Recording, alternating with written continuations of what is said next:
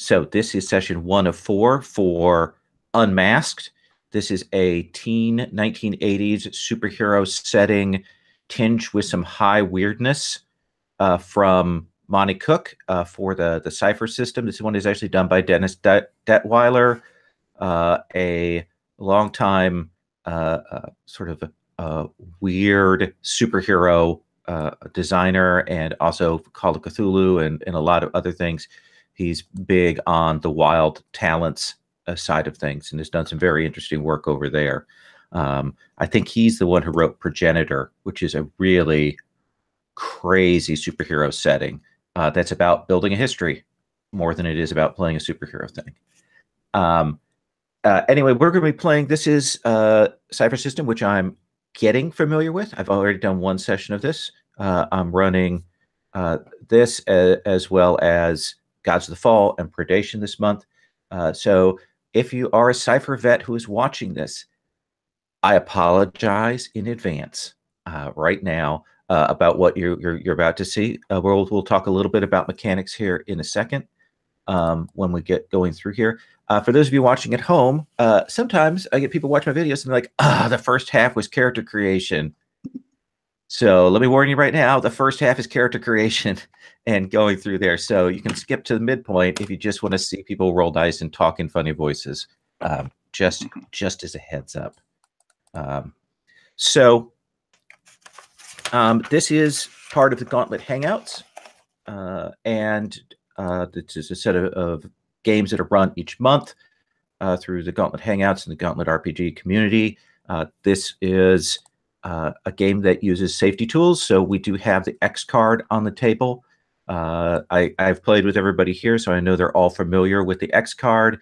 Just for how we're doing that, it can be this or a message in the chat. If we hit things that you find off tone, subject matter you're not cool with, uh, something uh, hits uh, something that really, really bothers you. Um, we're dealing with teenagers here. Uh, so I, I, know uh, I did not enjoy my high school years. And so uh, there's a lot of stuff that I might might X card past myself. but we'll come come back to that. Um, you may notice Sherry uh, uh, her camera, she had to switch to a different machine, so so she may be a little little uh, uh, inconsistent here. We'll, we'll see. Not the machine; it's the cat that won't let it stay in place. Yes. Um, so this is Cypher. Let me talk about the basics of it and how this works on your character sheet. You'll see at the top of each of your columns on your Google sheet um, there that we have uh, essentially a teen uh, area that has your name, what your teenager script is, your pools for your three stats, and then your skills. Uh, all of that is for your teen. Uh, all of you can write in teen skills. Teen skills are things like skateboarding, uh, movie theater ushering, uh, you know, th- those kinds of things. They are very light kinds of of teenager skills. Some of you have uh, uh, skills from your backgrounds. So that is also a possibility. Uh, the basics of this game are you tell me what you want to do. I set a difficulty and a stat pool. At that point, let's say I said difficulty of three. You can apply things to reduce that difficulty. Skills can reduce that difficulty by one step. And of course, I'm going to stop screen sharing because it's apparently making my computer insane. Um, screen uh, skills reduce things by one step. Assets, things that you have, can reduce it by uh, one or two steps. Uh, uh other abilities can can do that. Uh, uh, so that will be, let's say, for example, Rich, uh, we had a task that was you trying to figure out whether someone was telling the truth. I might say, well, he's level four, so the difficulty is four. You have the skill discerning truth, so we dump that down to a three. Um, at that point, uh, you have the option to spend effort from your pool, like intellect is your pool there. spend three points, and it reduces difficulty down by a step. Uh, whatever the final difficulty is, we take that times three, and that's what you need to roll or beat on a roll 20, on essentially on a d20 roll. Uh, the first couple of times, we'll kind of walk through it. Uh, it'll take a little bit to kind of get the, the steps through. Um, your pool provides that effort. You can at most expend one level of effort on something um, uh, because you're, you're essentially your tier one. Um, and that pool is also your hit points. So keep that in mind. So you may notice your teenagers kind of aren't that great because they're teenagers. Um, if you and then lower down, we have your mask. Your mask identity and stats and everything is completely different from your teen stuff. Um, uh, there is some effects to recovery and damage when you take your your mask off and return back to your human form, but generally they are two completely different things. Um, your masks, of course, have much higher pools. You will notice that some of you have edge. Like uh, I'll take Rich as another example. Rich, you have a edge of two with your might. What that means is when you go to spend effort to like on a might task to to boost it, uh, it costs you two less. Um, or if you wanted to spend effort to increase your damage, it costs you two less. So it would cost you one point from your might pool instead of two or three. Um, you all have some power shifts for your characters. Those are generally kind of worked in. We'll talk through those. Those are things that affect everything. Um, for example, Rich, one of your power shifts is armor. Uh, another one is anytime you do anything related to, to lifting or strength, we always shift it down a difficulty. Um, and then we also shifted up your punch damage, and that's added in under your punch kick. Um, that's the basics. The other thing is at points throughout the game, you'll be getting intrusions when an intrusion happens, essentially what uh, I randomly can do a GM hard or soft move, uh, and something will happen. I'll spotlight someone. I'll give them an experience point, and then they can hand the another experience point off to somebody else in the group. Experience points. When you get ten, you get to advance. That may happen in the course of four sessions. But the other thing you can do with experience points is you can spend experience points to give yourself a re-roll.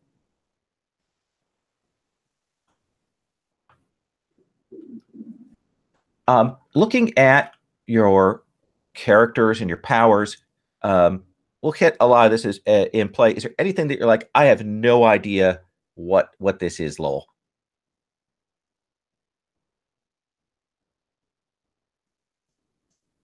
Not yet. You will.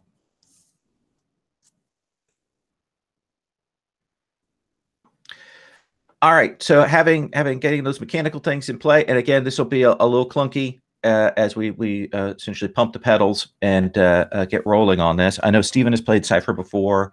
Sherry, you've played Numenera. Rich, you've played Numenera once or twice, right? I have. Okay. And Michael, what's your experience with Cypher? None. Good. Okay. so we we run the spectrum, run the, the the gamut here. So let me talk about what we're what we're actually doing in terms of gameplay today. Uh, this is a game set in the 1980s, mid 1980s. Teenagers that gain weird powers. Uh, we're going to have teen events that kind of spiral into superhero Um, it's a little different than than Masks, which kind of focuses on the superhero side.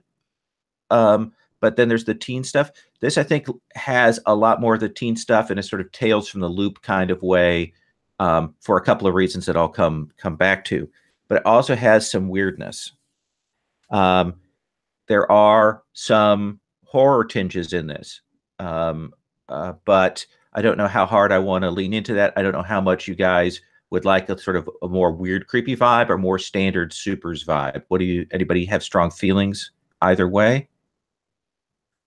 My character is really geared towards the creepy uh, vibe thing, so I I would uh, uh, I guess for the purpose of the character, would prefer uh, the creepy uh, the creepy stuff. But um, okay. You know.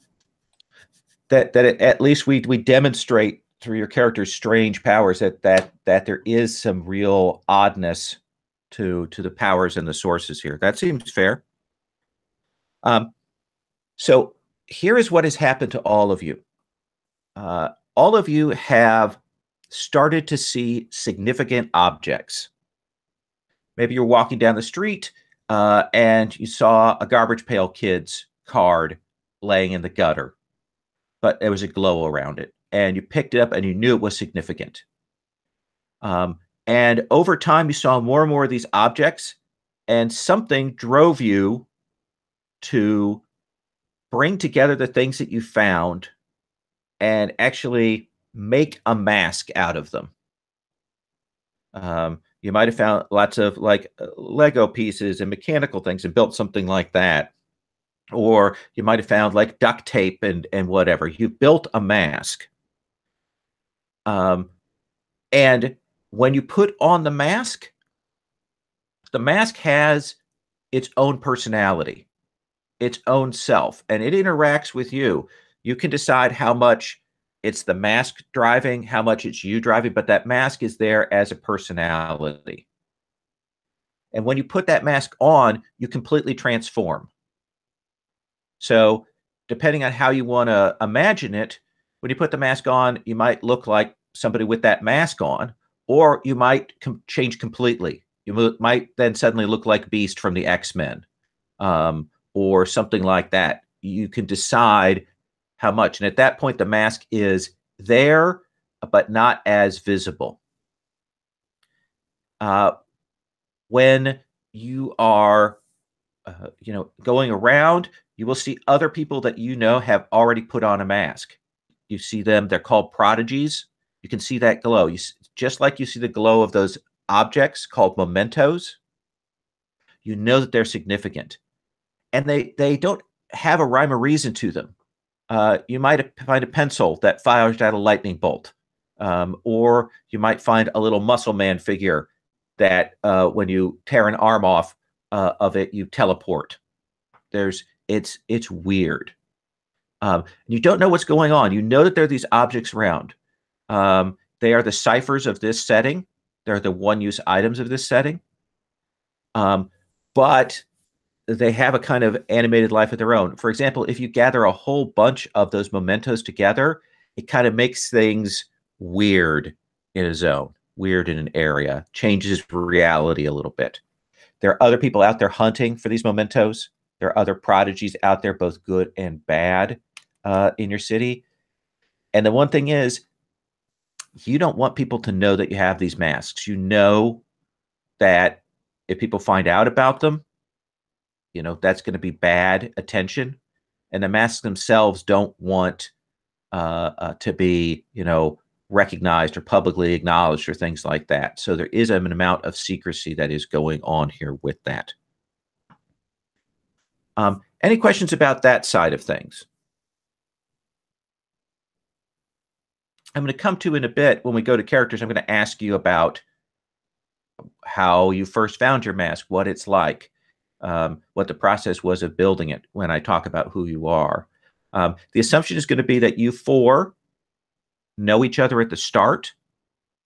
Um, and maybe you're not necessarily friends, but you are allies in this, and you recognize that each other has these powers, and you kind of have to to work together um, to to support and aid one another.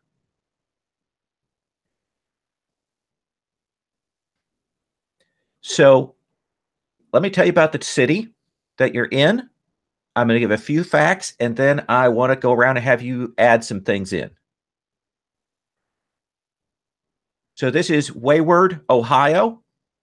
It's a, uh, a small uh, Ohio city population, maybe about 75,000. It's got a lake nearby. Um, it's kind of split into north and south. The south side of the city is a little wealthier. Uh, there's the more up and coming mall down there. It has one of the two high schools, big high schools down there. Uh, it has Neil Armstrong High School, um, and you've got the, the the Scottsdale Mall down there. down there in the south, kind of wealthy area part of town. Northern part of town, a little less wealthy. Um, it's got University Park, which is kind of a, a, a mall that is running down. It's been around a long time and it's kind of falling apart, but people still go there. It's still the mall. Um, uh, the city is kind of split that way. You know, the one big theater, the big cinema up north is a little seedier. The, the movie theater down south, the big multiplex, is nicer, newer, all that. All of you go to Ambrose Bierce High School, uh, a famous Ohioan um, and writer.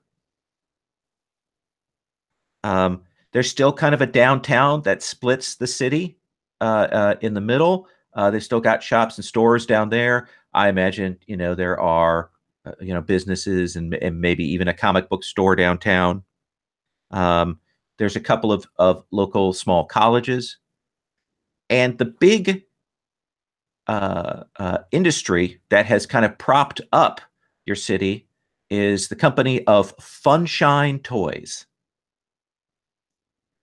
Funshine Toys, they are the biggest purveyor of knockoff toys. They don't make GI Joes. They make Soldier Man. Uh, you know, they don't make Masters of the Universe. They make uh, muscle heroes. Um, they both manufacture these knockoffs and also uh, import them and distribute them from this. It's a big factory, big complex. It's uh, uh, uh, it's often served with uh, legal notices and cease and desist orders. So sometimes when a particular line uh, gets too close to somebody else's thing, then the company will have to dump a great vast hordes of action figures. So sometimes you find them wash up in the river. Um, sometimes they're just dumped into uh, the junk stores in town. Uh, so there's all that kind of stuff. Uh, so they have like Norf they had that for a while and they got sued for that, uh, especially because the foam was a little harder than a Nerf uh, and it caused some injuries. Um, so that's the, the big thing about Wayward, Ohio, the big industry. Those are my details. Sherry, tell me something else about Wayward, Ohio. Um, let's see here. I think that the other thing that's kind of interesting about Wayward, Ohio is that it has um, sort of two TV stations. Uh, it doesn't have the third network, but it um, has the two TV stations. They're also sort of uh, north and south, and there's sort of a real rivalry um, between them, uh, where um, like that one that's down south, it would it built itself down south before South got richer in a mm-hmm. lot of mm-hmm. ways. So they have like, um, but now they're on the ascendance. They're NBC, and okay. this is like their time, and they crow, uh, and it's it's um, yeah, and it's essentially, but the local news teams, there's like the big favors. They're just as regional. So the the South people like the South, uh, the NBC local newscasters, in the North people like. Uh, so. Uh, is North CBS or ABC? Uh, what what one is the oldest one? I think it's CBS, right? Okay, That's yeah. the one that has the older demographic. So yeah, it would be CBS and NBC. There's probably uh, uh, if you have uh, the right antenna, you could probably pick up the Fox slash ABC affiliate from the next city over. Mm-hmm. Um, but it comes in real, real bad uh, if you don't have cable. Um, I have to get the antenna uh, hooked up and rigged for that. Okay, I like that. Michael, what's another thing about Wayward Ohio? Uh, there's a local televangelist who's uh, getting popular, um, who's got like, maybe like a regional, regionally prominent, and uh, he's got a um, kind of a proto megachurch in town. Ah, proto megachurch. Do you have a name? Uh, let's see. Let's call him Ian Waldor. Ian Waldor. and Ian Waldor has a Waldor Hour of Power uh, uh yes. uh, every day that comes on. Uh, he's probably got a little low-powered broadcast station. Uh, they're showing like reruns of Andy Griffith and the Lone Ranger and stuff, you know, to cover the other broadcast hours. And otherwise, they've got that sort of franchise Christian programming yeah. from around there. and he'd be based in uh, the south side of, uh, of town. Ah, obviously the megachurch built that up there. Nice. Rich, tell me something else about Wayward, Ohio. Wayward has a new-ish um, skate park that was funded by some local Wayward. Uh, I, th- I think like a Wayward organization that got together. We're going to do something to keep kids off the streets. We've heard the drugs is really bad, and so this is their attempt. Um, and uh, yeah, it's it's it's it's not going to last. Not gonna last. Um, did they do like a hip car- a hip commercial, hip local commercial with lots Radio of with- commercials. yeah. radio commercials like a hey kids ah, ah, ah," you know and they hear the the little little tag, user tag what's the name of the skate park Oh God, that's a great question. Um, seven twenty. just 720 Seven twenty, because that's that's good enough. Skate or die. and uh, uh, it's extreme uh, of course uh, uh, and uh, uh, it, it they've built it up i imagine that that by accident some of the skate park actually is pretty pretty nice um, uh, and then there's a lot of the, the sort of baby areas uh, of it does it have a fence around it Uh, it, it it does, but there's a, there's you know there's always a way to get in. always way to get in. Okay. Awesome. Stephen, tell me something about Wayward, Ohio. Yeah, um, the south side where the poor people live only has like Uh, that's the wealthy. So Yeah, south oh, is wealthy. I'm sorry, the north side where the poor people live only have one or two video arcades, right? And they're kind of run down. They still have mostly pinball machines and you know a few older video game machines like in the back. But if you cross the river on your bike, you can find like they have like a uh, like Walker Bridge that you're not supposed to take your bike on, but we do anyway. And on the south side, where all the rich people live, there's a lot of money to be made, and there's some really nice arcades. You know, like uh, like the uh, Dave and Buster's kind of things that are Okay. there. That there's kind of turf wars. You know, the rich kids on the other side of the tracks, you know, fight with the poor kids from the uh, north side, and they're like, "Oh no, this is my place. Get out of here."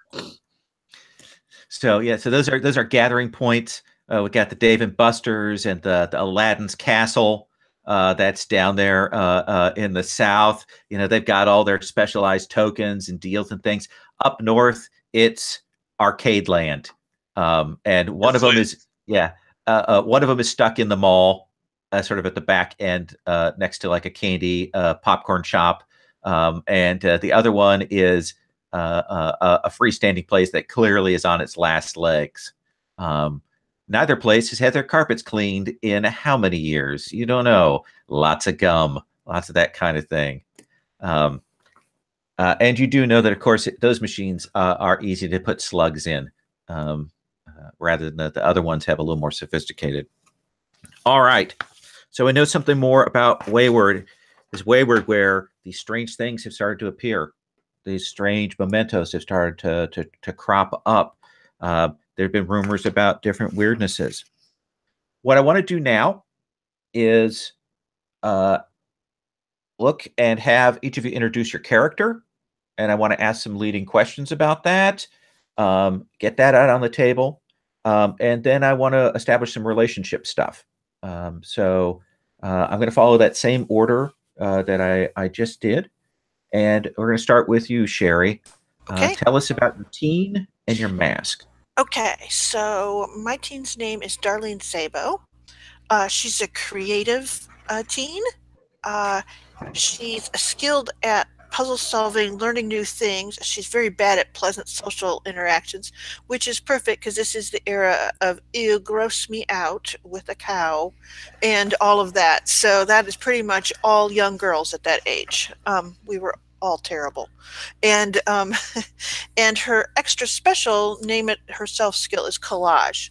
Uh, essentially, she doesn't draw particularly well, Um, she doesn't do any particular artistic endeavor particularly well, but she can take a lot of pieces and put them together and make something super striking.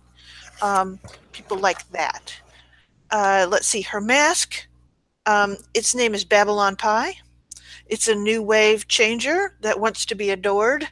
Um, when you see it, uh, every ma- um, outfit or however she appears, it will always be sort of black and white, very stark, with a splash of color, because of course, all of the sort of design elements that were big then were very amateur. Um, so black and white with a splash of color is the easiest thing to get a striking effect with. So very much that.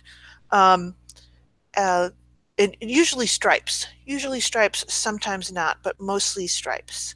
Um, the other thing that I look at is that um, when she wears the mask, she starts out and it's very high resolution, you know, dark blacks, white, um, bright whites, and whatever the splash of color is is very clear. But as she and the mask run down, it starts to look more and more like it's been photocopied a hundred times. Um, and so she's good with uh, Sonic Blast and that and she can produce sounds and she has withering social effects. So i hope that's useful. Um, how big is the physical difference between your teen self and uh, the the babylon pie self? Well that's variable so essentially, if the spotlight's on Babylon Pie, Babylon Pie is very tall and very statuesque and very striking. Um, when not, just regular human being size, maybe a little bit taller than Darlene because she hasn't reached her full height yet. Um, and Darlene, uh, you mentioned uh, uh, in the email, uh, works at Orange Julius. She works at Orange Julius. Her life at work is sticky and she's forced to wear this horrible headscarf that's like like from the 1950s kind of thing. It's a triangle with a little cord on it, and you tie your hair back in it. It's it's a fashion atrocity because it's in pastels. Ugh, ugh, the worst. Um, t- tell me about how you found the mask. What was that process like, or how did you make the mask? What does that that look like? Well, essentially for her, her time, whenever she has it, and her money, as much as she has, goes to buying music. And so I see that as that's her finding sale, you know, finding items in those bins. Sometimes like, you know, finding a a mixtape for a group that she's never heard of and no one else has ever heard of and or not a mixtape a, a tape and then when she buys it it breaks immediately and this this you know the tape from inside spooled out and it's the thing that has the glow on it. Or um, found a pair of i don't know elvis costello style glasses like dropped you know behind one of the places. Just just weird little bits. Found a movie or i mean excuse me show posters you know the little like multi xerox ones for a show that wasn't taking place in Wayward, you know, and, but that had the glow on it. And just all of those pieces kind of coming together pieces of uh, CDs, which are the new thing, uh, a broken CD that had, you know, that. Um, so around the record store, I think. Okay. And I assume you kind of collage, put it together with like decoupage and, and stuff to, exactly. to make the mask. Okay. Um, what's your family like? Well, my dad's an accountant at Funshine. Um, and his mood is entirely based on how much the next lawsuit is costing the company. Um, so, and where his, um, he has never been laid off. My mom, who works there sometimes too, has been because she works on the line. Um, we have money, but my parents are always saving, saving, saving. So it's they keep on both working and putting it all away. Um, and I mean, some of it supposedly for Darlene when she goes to, to college, but to her, it just seems like it's a constant slog. They never do anything fun, they never go anywhere. Who is someone in your life that you would consider an anchor taking this sort of from Tales of the Loop. Someone that you go to for uh, emotional support or or or strength of mind. Is it a teacher? Is it uh, you know a coworker? Is it a family member? Um, I think it's my grandmother, um, who I go to visit with. Um, she still speaks Hungarian, and she doesn't speak English very well, and I don't speak Hungarian. So pretty much, she makes me food and she makes sympathetic uh, sounds, and we get along because she doesn't understand me, and I don't really understand her. Okay. So Awesome. Thank you so much. We'll come back to you in a bit. All right. Uh, Michael, uh, tell Mhm. us about your teen and your mask identity. Sure. So I will be playing Anthony Rivas. He is lawful by nature. Is there any kind of age uh, ideas about what you have for these characters? Do they have? A, are they on the same class, for example, or? Uh, I imagined you guys should probably be like like sophomores or juniors. Okay, sounds good. And he is um, was raised in a, uh, a evangelical Christian background. Um, when I was coming up with this character, I was trying to think of uh, like what I remembered from the '80s, and I have distinct memories of uh, as a as a a young as a young teen in the '80s. I I remember being really hooked on um, the evangelical shows, the ones that would focus on all the apocalypse stuff, you know, all the Mhm. revelations um prophecy i i and i think that was like kind of fed into uh me getting into d&d at the same time you know because you know maybe in uh maybe in church talk but it was also demons and beasts in the sky and all that so i was like super into that stuff.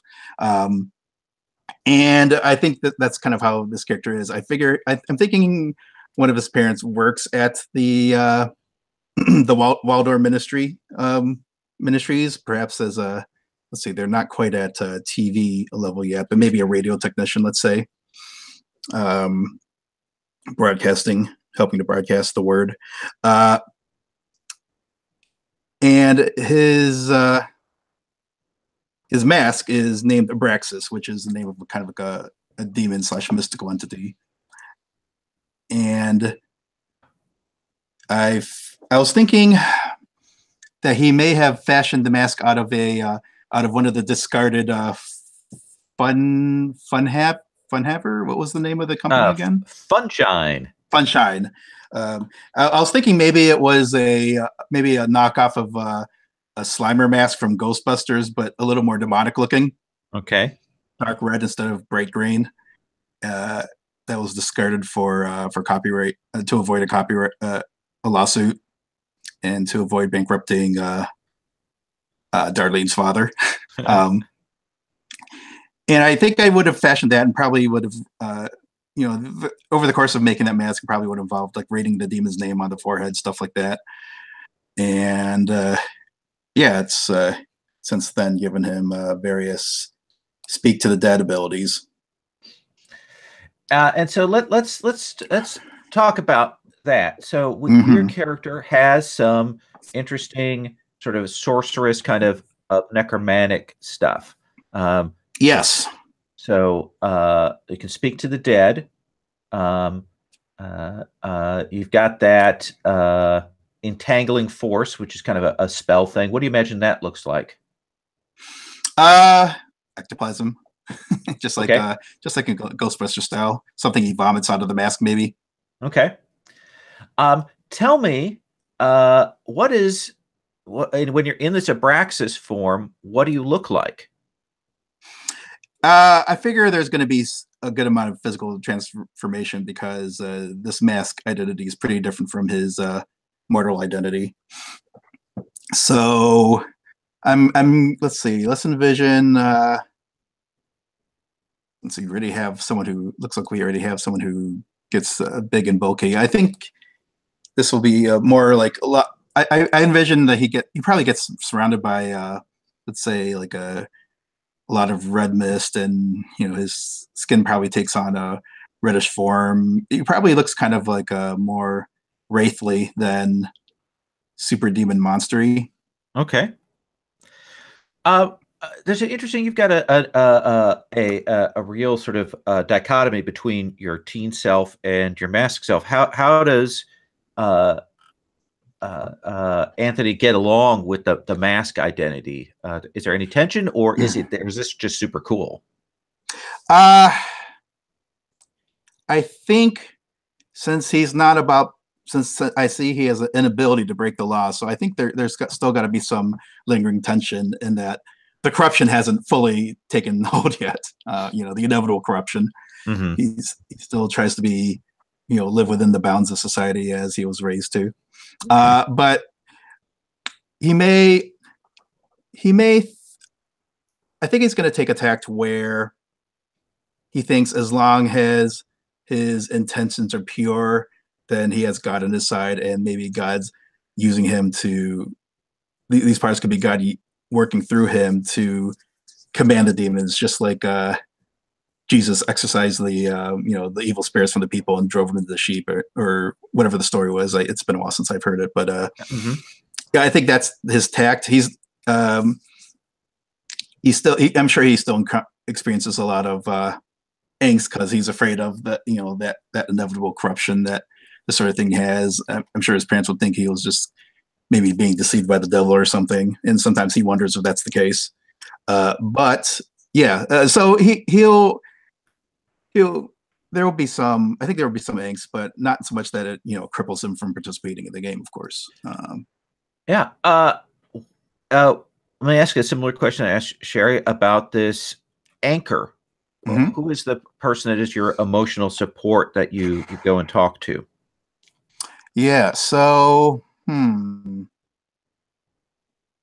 I'm gonna say that there is a friend that he knows through the church, and they secretly play Dungeons and Dragons without their parent, you know, with, with their, you know, without their parents knowing. And just like in Stranger Things, that may be his uh between that and the Bible. The Bible and the Monster Manual are basically what guides his not his like you know half-assed knowledge of the occult. Okay. Uh, uh, we'll give uh, a name to that character. We'll call him uh, uh, Brad DaCosta. Cool. I I s- I remember my, both my sister and I had friends who were very much that was that was the thing they couldn't tell uh, their parents that they were going out to to play D and D. So there were all sorts of s- cover stories that were concocted over time. all right, thank you very much, uh, Rich. Tell us about your character. character I'm playing is named Sean Jefferson, but he prefers to go by his nickname of Dig Dug. He calls himself Dig Dug because that's his best game. He- there are a lot of games he's good at, uh, but the Dig Dug up in the north side, it to- takes a slug. He's got a slug on a rope, uh, so he can play that. Although he realized, hey, even if they take the slug, if I'm good enough, then I can just keep playing. Uh, so that's what he is. He's good enough to just keep playing, um, and that's where he spends has spent the majority of his time. Uh, Dig Dug, he really wants to go to the arcade, and uh, things are starting to change now with um, Bulldog, his mask. But before then, it was just go to the arcade, spend all day at the arcade, ride his bike to the arcade and just be at the arcade uh, because he didn't want to be at home. He didn't want to be a burden um, because his, his family, his dad works sometimes. He's kind of a day labor type guy, catch as catch can. Really tough for him to hold down a job.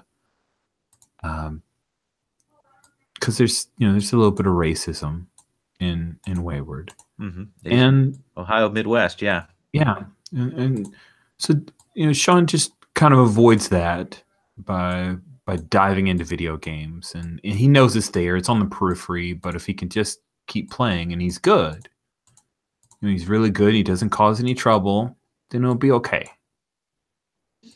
Um, Siblings? yeah, a bunch. Oh, okay.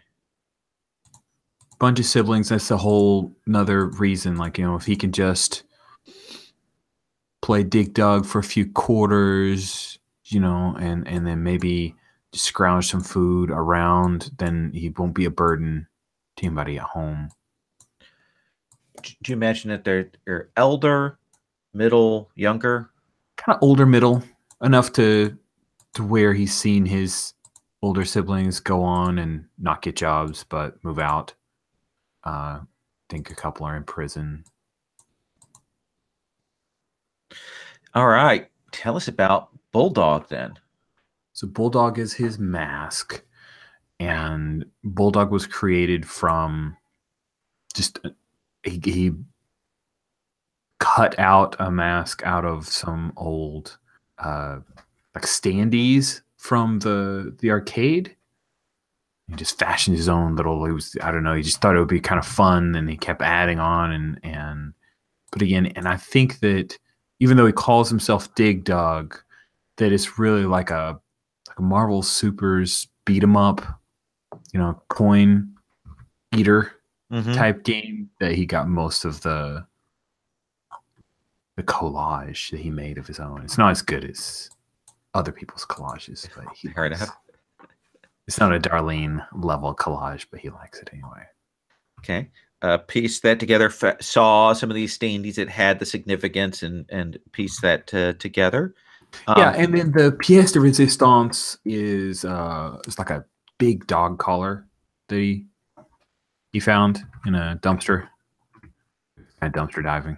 He was not looking for food. No, he was not looking for food. He's just dumpster diving for fun. And uh, what do you look like when you put on the mask and become Bulldog? Completely different. Um, he's still black, but he's just gigantic. Uh, like seven feet tall. This crazy mohawk. Um, pronounced canines, like he would know, but like an orc from D and D, kind of. Uh, but they're they're like tusks, Mhm. like canine type deals. He's just huge and beefy, and his his powers are very kind of golem like, because he's a smasher who abides in stone. So I think that he, even though say on the comic page he looks like just a really large dude, that this is actually a kind of stone. So there's like a grating of stone on stone when he moves around. He does not sneak up on anybody. that seems that seems fair uh, to me. And you've got your your stuff is pretty straightforward, I think. I think so too. I don't think there's anything tricky. It's like overcoming fear, punching. He's fast. He's big, and his mask is just his best friend. Because his anchor is his mask. His mask is his anchor, and his anchor is just an escape Mhm. uh, and an empowerment and a total wish fulfillment that allows him to ignore all the rest of his life. His hand me down Adidas shoes, his shirt that hasn't been washed in a few weeks, his hoodie that has far too many holes in it. All of that doesn't matter. Doesn't matter at all. Awesome. Uh, there is, you probably already caught that there's a cut and paste error on your uh, powers.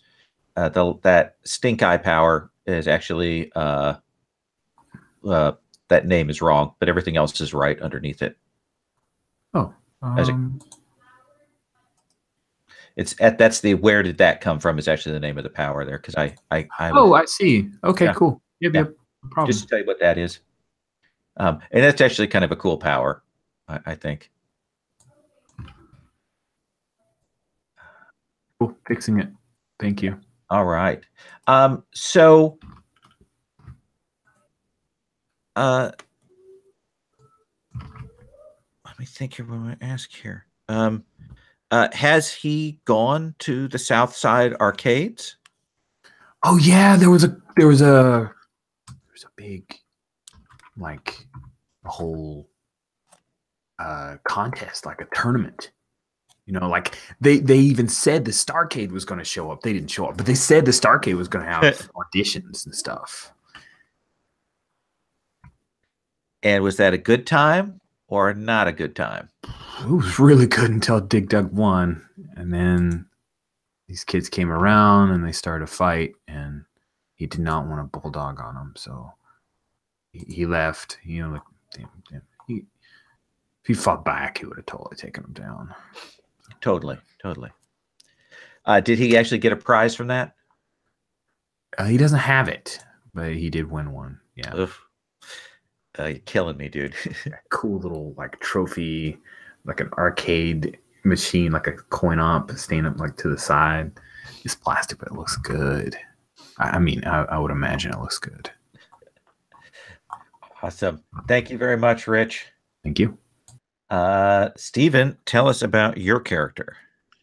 uh, Eric Pinkard is a metalhead teen, um, and his dad is basically he owns like a mechanic shop. So Eric um, is probably 14 or 15, like a sophomore, um, and is totally into like heavy metal hair band music. Um, and uh, so anyway, they uh, he he spends his afternoons after school um, working for his dad there in the shop and you know trying to fix up old bikes old you know old uh, motorcycles old you know cars clunkers that come in um, he definitely lives definitely lives on the north side. That's where the shop is. So this is just trying to get the automobiles enough to piece together. So like eric's dream is to be in a metal band right? He that's just the thing he wants to do. So what his mask is is his mask is basically old bits of like electrical tape and stickers and receipts that he's kind of collaged together to form like a kiss mask. So like the demon wings kind of thing. And um whenever he puts it on, eh, I don't know if you've seen the old 80s like kiss movies, right? But like beams shoot out of his eyes and stuff like that. Um his mask form is Warlock. And Warlock um sometimes oh, so what happens is sometimes warlock will come back they'll be so he appears sort of like uh one of those kiss power guys but sometimes warlock comes back from the future um warlock is a lucky thinker who comes from the future so sometimes this like old tattooed dude um that looks like spider jerusalem from the comics he's got tattoos all over everywhere and he's bald and that kind of stuff comes back and will do a couple of things to help out, you know, Warlock. But like that dude, I talked to him a little bit. He's like not in a band. He's like a groupie and works at a copy shop someplace. And he says, you know, he says, kids, you know, you're gonna have some problems, you know, but stick with it, keep your dreams. But you know, your dreams are gonna fail because you're gonna end up working minimum wage someplace. So I don't think that guy lies to me. He says that that's the future, but it's not really the future. You know, I'm going to be in a band. And uh, besides uh, the the future selves that pop up to aid you, which is a, a great power, um, uh, what are the other powers that you have? Um, I have onslaught. Uh, onslaught is uh shooting things, and I think this is my eye beam kind of stuff Okay, out of the mask. Um, far step is I jump and I leap pretty far. Um, to appear long range within somewhere else. Scramble a machine, which is I can uh mess up a machine. Shatters, I can scream and it will break an object in the area. That kind of stuff. um, so uh, what was uh, it like when you first found the mask and first put it on? Um, so basically, you know, as I said, I kind of created the, this collage, and I thought this is what I'm going to wear at like the Battle of the Bands. This is what I'm going to wear because it's more important to look cool than it is to be able to play play an instrument, right? So I was like, I'm going to put this on, and I'm going to be awesome. I put it on; it was just rock and roll. It was like I'm bigger than life, and it wasn't just whenever I put this on. You know, I'm kind of a scrawny teen who you know it's always a little bit greasy that kind of stuff i put this on and i'm just shiny and i'm ready to go up and you know see the big lights and i've got just the best manicured hair it's just gorgeous so it transforms what i look like Mm-hmm. but it kind of makes me into a showbiz version of myself So, uh, a question that I have then is what's the personality of the mask like? We know we've got this person that that comes from the future, but what's the mask's itself personality? Yeah, so I think the mask itself's personality is uh, uh, almost bravado. It's you know you're the best. You can do everything now. So it's sort of, it's almost like a drug. It's almost like, you know, encouraging you to go beyond what you think you can do. Awesome, awesome. I I I, I love that. And who is your anchor? Um, I think my anchor is it's not I wouldn't necessarily say it's an anchor, but it's uh someone who I idolize and it's uh this guy, he's the drummer who was in a band who won Battle of the Bands last year. So he actually, you know, I got to talk to him and he told me this is how you get your band going and all that kind of stuff. And you know, I hope one day maybe to join his band and be like the lead singer or the lead guitarist on his band. Um, but I wouldn't say that he necessarily gives me good advice Mm-hmm. or is someone to look up to, but he's someone that you know I idolize. He can do no wrong. Let me Uh, ask you see. one more question. Okay, go on. His name No. is Bobby. Um, Jonas. Bobby Jonas.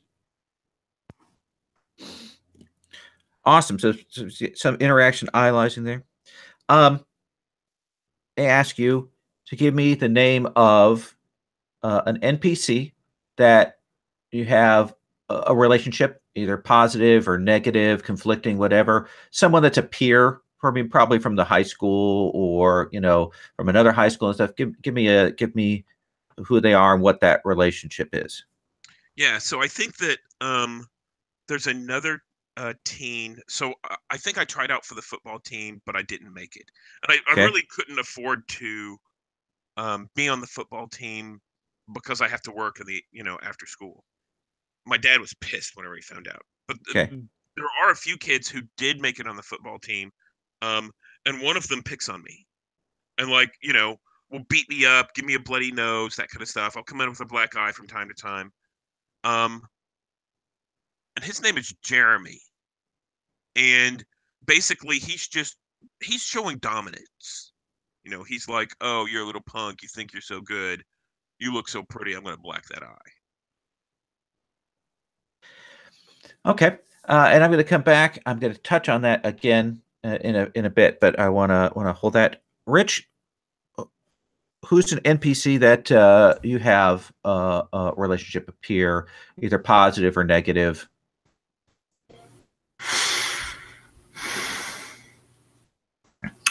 I, I think there's uh there's another classmate that he has a relationship with. Maybe his name is um Luis. Uh let's see, make sure I'm not overstepping any names. So we got yeah, I think we're good. So his name's Luis and uh they- they're friendly. They talk video game stuff. Luis actually has uh subscription to Nintendo Power and a Nintendo Wow. Uh, so that's pretty great. And he's invited Sean over. Sean hasn't gone.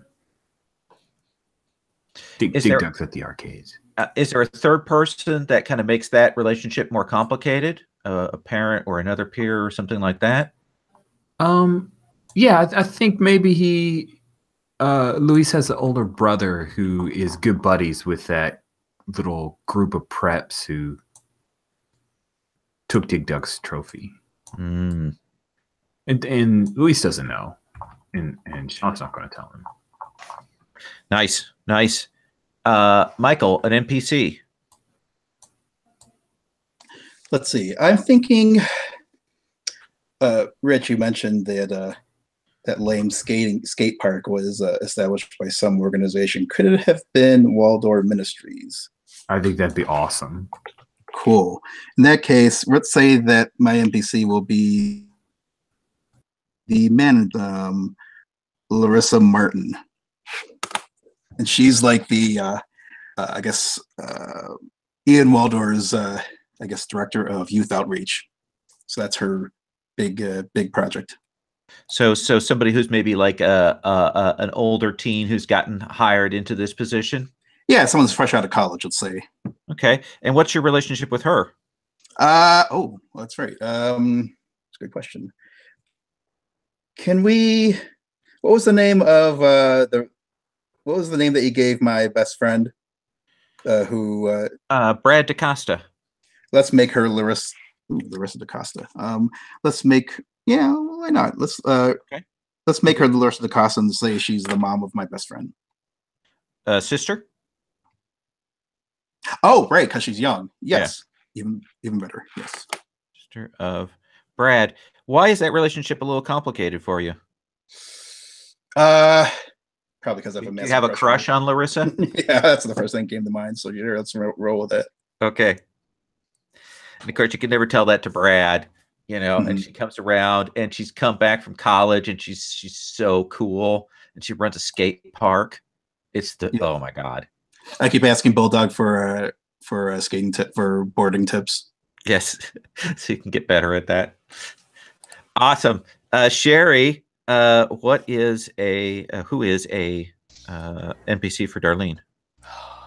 Okay, so in middle school, my best friend was Lisa Darnell, and then like, uh, I don't know, everything changed because it was middle school, and it got really confusing, and all of a sudden, uh, Lisa wasn't my best friend anymore, and sh- in fact, we kind of hate each other, except that we know everything about each other. It's the worst, and um, she's the only other person who's as good at mixtapes and collages as I am.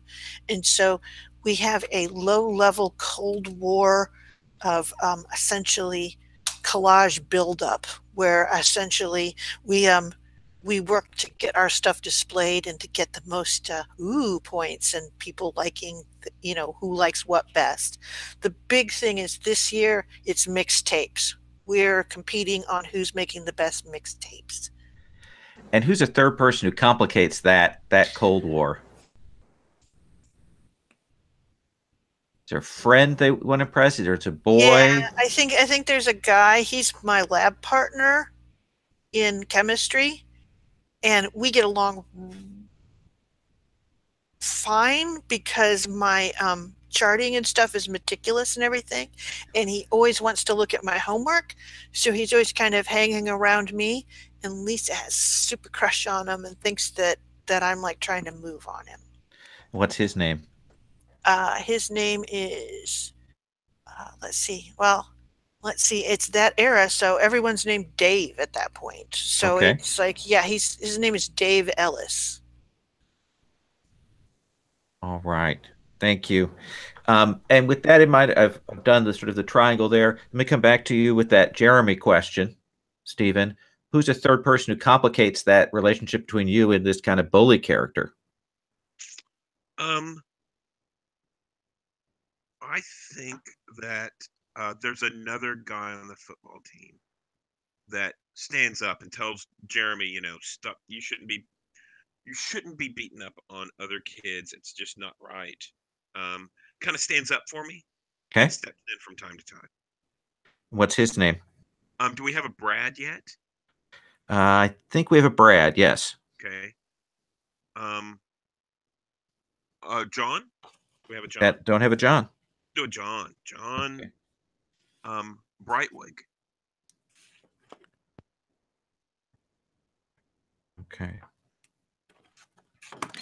So you each found your mask, each discovered powers, came to that. Um, and there was an incident, and you four got caught up in this incident. And that's how you sort of first met. This is our when the team first came together bit that I'm stealing from masks. Um, Sherry, uh, uh, when the four of you came and you all had your masks on, you defeated a dangerous enemy. Who or what was it? Okay. Um, I got to say that it was was like this weird sort of uh, mecha centaur uh, prodigy. Um, so like really weird, made out of like um, like brass. And what were they doing? Um, wow, that's good. Um, Because what would bother her? Uh, let's see. um, I, gosh.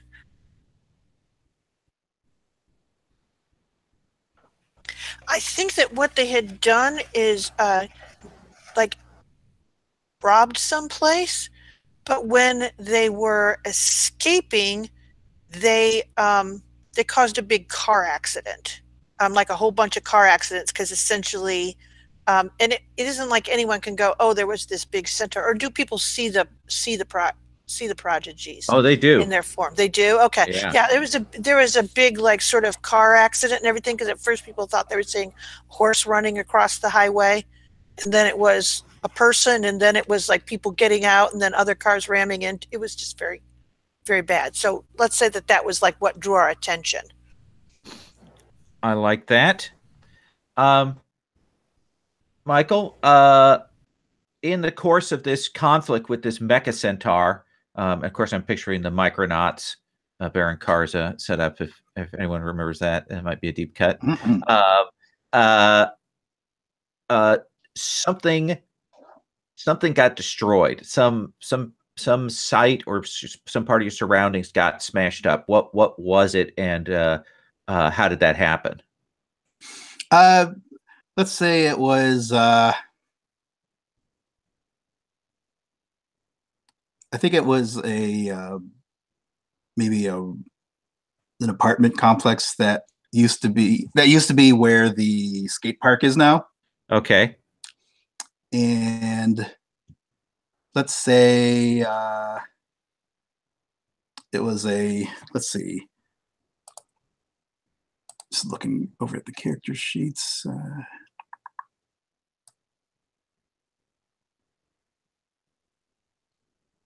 think maybe uh maybe uh warlock tried to seize control of uh the mecha centaur's uh abilities and in the course of trying to subvert the its security systems it went haywire and ju- just um oh now leveling the apartment complex that could that that kind of implies like a whole bunch of uh, mass casualties. Is that something we want to get into as as being part of our background? Uh, Well, we can say that it certainly uh, uh, damaged and knocked some things. We can say that there were people injured, but uh, Yep. Maybe it didn't destroy it enough, but it did wreck it just just enough. It didn't destroy it completely. Maybe it wrecked it just enough where it was no longer habitable. okay. Everyone had to move out, and yeah, who knows? Maybe that's kind of an ongoing issue. All these people who uh, need housing, and you know, where where do they end up? Uh, especially since uh, the land that it was, um, the land is now this skate park where, you know, maybe, you know, people go to skate. Okay, so so I, I like it because one of the things that uh, uh, implies is that you guys have had these masks and had these powers for a while. Um, uh, so that that the you know they they took advantage to to build this skate park um, and uh, set things up. Yeah, Um, now, is that okay with, uh, if I may ask, is that okay, Stephen, is that okay with you? That, uh, I, I just realized I just kind of, uh, proposed your character being part of the, part of that issue. Is that a thing that's okay? Uh, let me ask you this, uh, Sean. Um, you, uh, you uh, uh, stuck together. Uh, uh, you have, uh, you know, at least exchange and, and you know who each other are, and you've stuck together afterwards. Um, why? And you know, what's the means that you guys use to kind of stay in contact or the, the, channels that you use Uh, well, you can always find me at the arcade. So there you go. At the arcade, is that good? Are we okay Yeah. with that? And what what what for you is the reason why the the, the four of you decided to like share and kind of stick together and and you know kind of be a team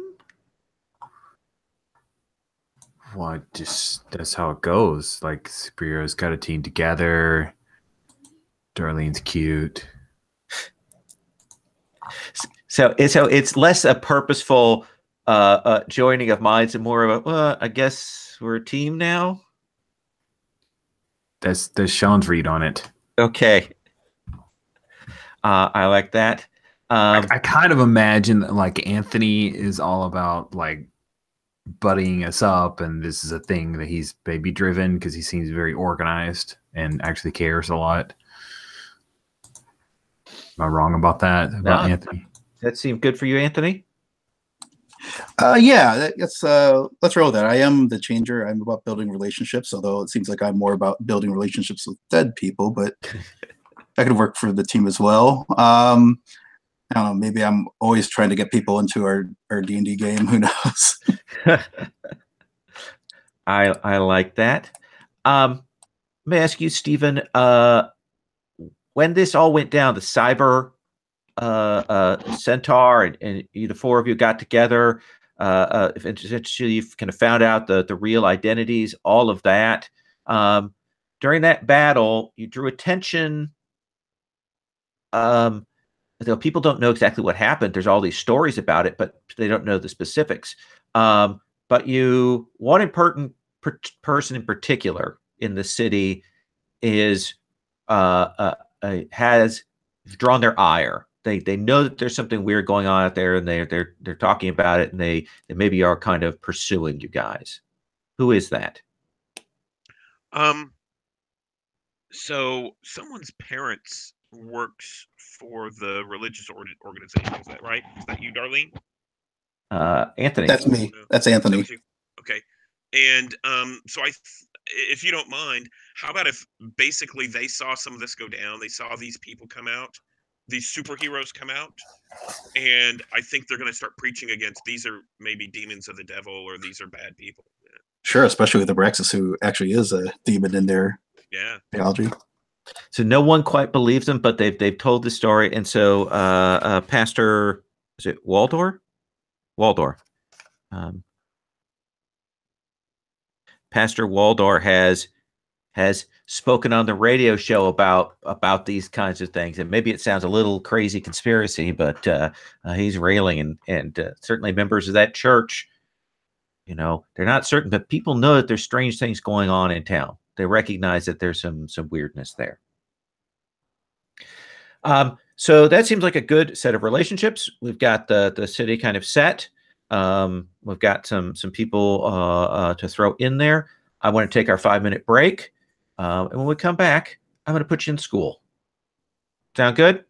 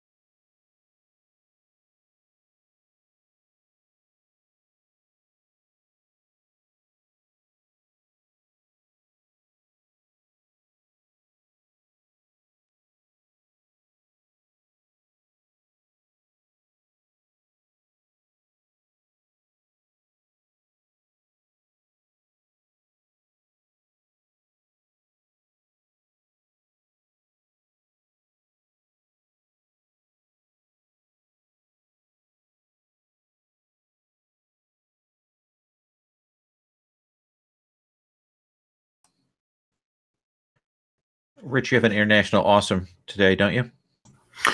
I do. Okay. It starts at 115, so as long as we stop on time, I'm good. I just can't run over. Yeah, I, I've been, stopping at a quarter till just to to make Oh, that that'd be a awesome. Half hour to eat. That'd be Yep. dope. I love the uh, text that you got there for for Dig Dug. Thank you. That is literally taken from Dig Dug.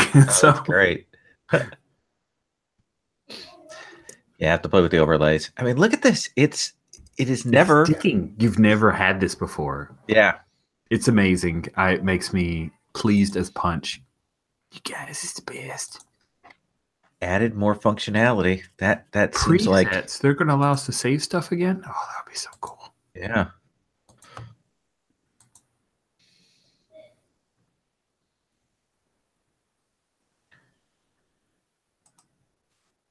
Uh, I wonder if this is uh like like they're they're going to be doing more with this maybe. Hopefully. I don't know. Like, I want to send five bucks to Moritz Toxidor for Toixdorf for just making it happen. They're getting back out. I did not realize how much I missed it until it was gone. I'm going to ask one more personal question before I, I, I throw you into school. Um, let me start with you, Rich. Um, uh, you have a guarded character. That's your that's your descriptor. Um, of the other three, uh, who has kind of been able to get past your defenses and maybe befriend you, like actually make you a real friend? I think it's Eric. He's just so showy and don't tell him I said this, but kind of dorky that it it, it cracks me up, and and I'll, I'll just open up and talk about stuff with him. And uh, uh, d- did you have musical tastes? Yeah, yeah. It's not metal. Okay, I figured. This is this is the the the nation era of uh, strong, good uh, hip hop and rap. So There's some good, good stuff. I've got, I mean, I've got like seven singles of some dope, like MC Lyte, Kid and Play, Salt Pepa. Mm. Some good stuff. it's an, an awesome time. Um, Anthony, uh, you're kind of lawful, uh, you know, you're law abiding, and uh, uh, but but you want to do this. Which of the other three? Who do you actually trust? Hmm. That's a good question. Uh,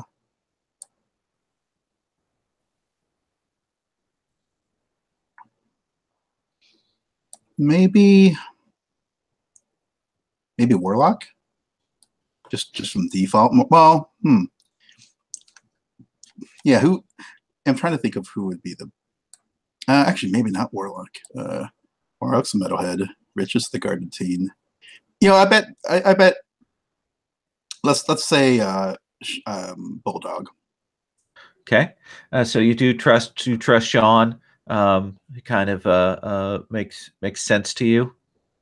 Uh, yeah. Given that one's uh, well, hmm. Let's see.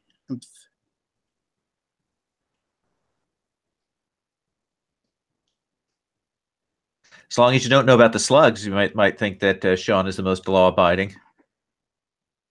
Right. I, I, I- I'm trying to think of who I'd have the um the better reporter with. Uh, I see Darlene is, is incapable in pleasant social interactions, so I think that would rule her out. Uh, no, nothing personal. well, nothing personal to the player, everything personal for the character.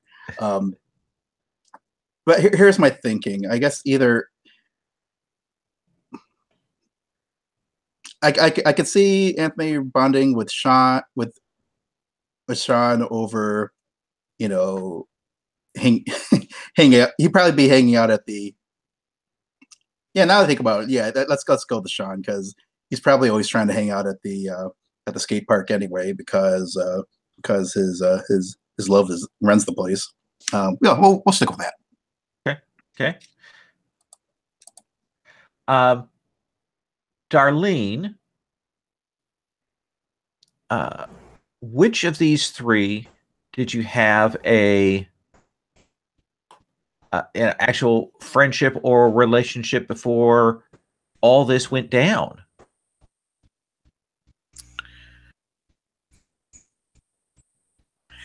See, here's the thing is is like I said, she's all about the music. And the only one of the three of them that actually spent any time at that record store that she went to is Eric. And mind you, he was in other sections, but we still would be there, you know, hanging around, talking the ear off of the poor clerk, you know, um, asking about things. Um, he wanted imports too, but of course, everything would be too expensive. It was a lot of us going, well, how much would this cost? And going, oh. and, so, and, And they have so- to look it up in a book. There's no Exactly. computer. so they have to open up a, a record book and, and look and check Mhm. that. Yep. And essentially, so, you know, we would hang out there. Sometimes, if I knew he was going to be there, I would bring like an extra orange Julius over and give it to him, even though they're the most disgusting thing in the whole world. Um, or the hot dogs that had gone, Oh. you know, past their hour. Um, so that was that sort of thing. Orange Julius hot dogs are still a thing that I remember with disgust and revulsion 30 some years later. They were the worst. Um, awesome. Awesome. Uh, Eric, um, you kind of think that one of these other te- teens, one of your other characters, actually kind of maybe knows what's going on. Like, like maybe, maybe gets it more, more than the others. Who, who is that? So I think I envision. So Eric envisions this whole team that we have going here as a band, and I think that Sean's kind of the drummer, right? Uh, let me make sure. Bulldog's the drummer, right? And Abraxas is probably like the bass player or something like that. But Darlene's the lead singer, and I think she's the one who knows what's going on, and that's why we're hanging out is because she's going to pull this whole band together. That makes sense to me. So, uh, let's say spring uh, for the season of the year, because that allows people to to to to bike outside and go to the skate park and uh, hang out and uh, uh, get to the arcade without having to slosh through uh, uh, all of the the the snowy mud and stuff. Does that seem fair?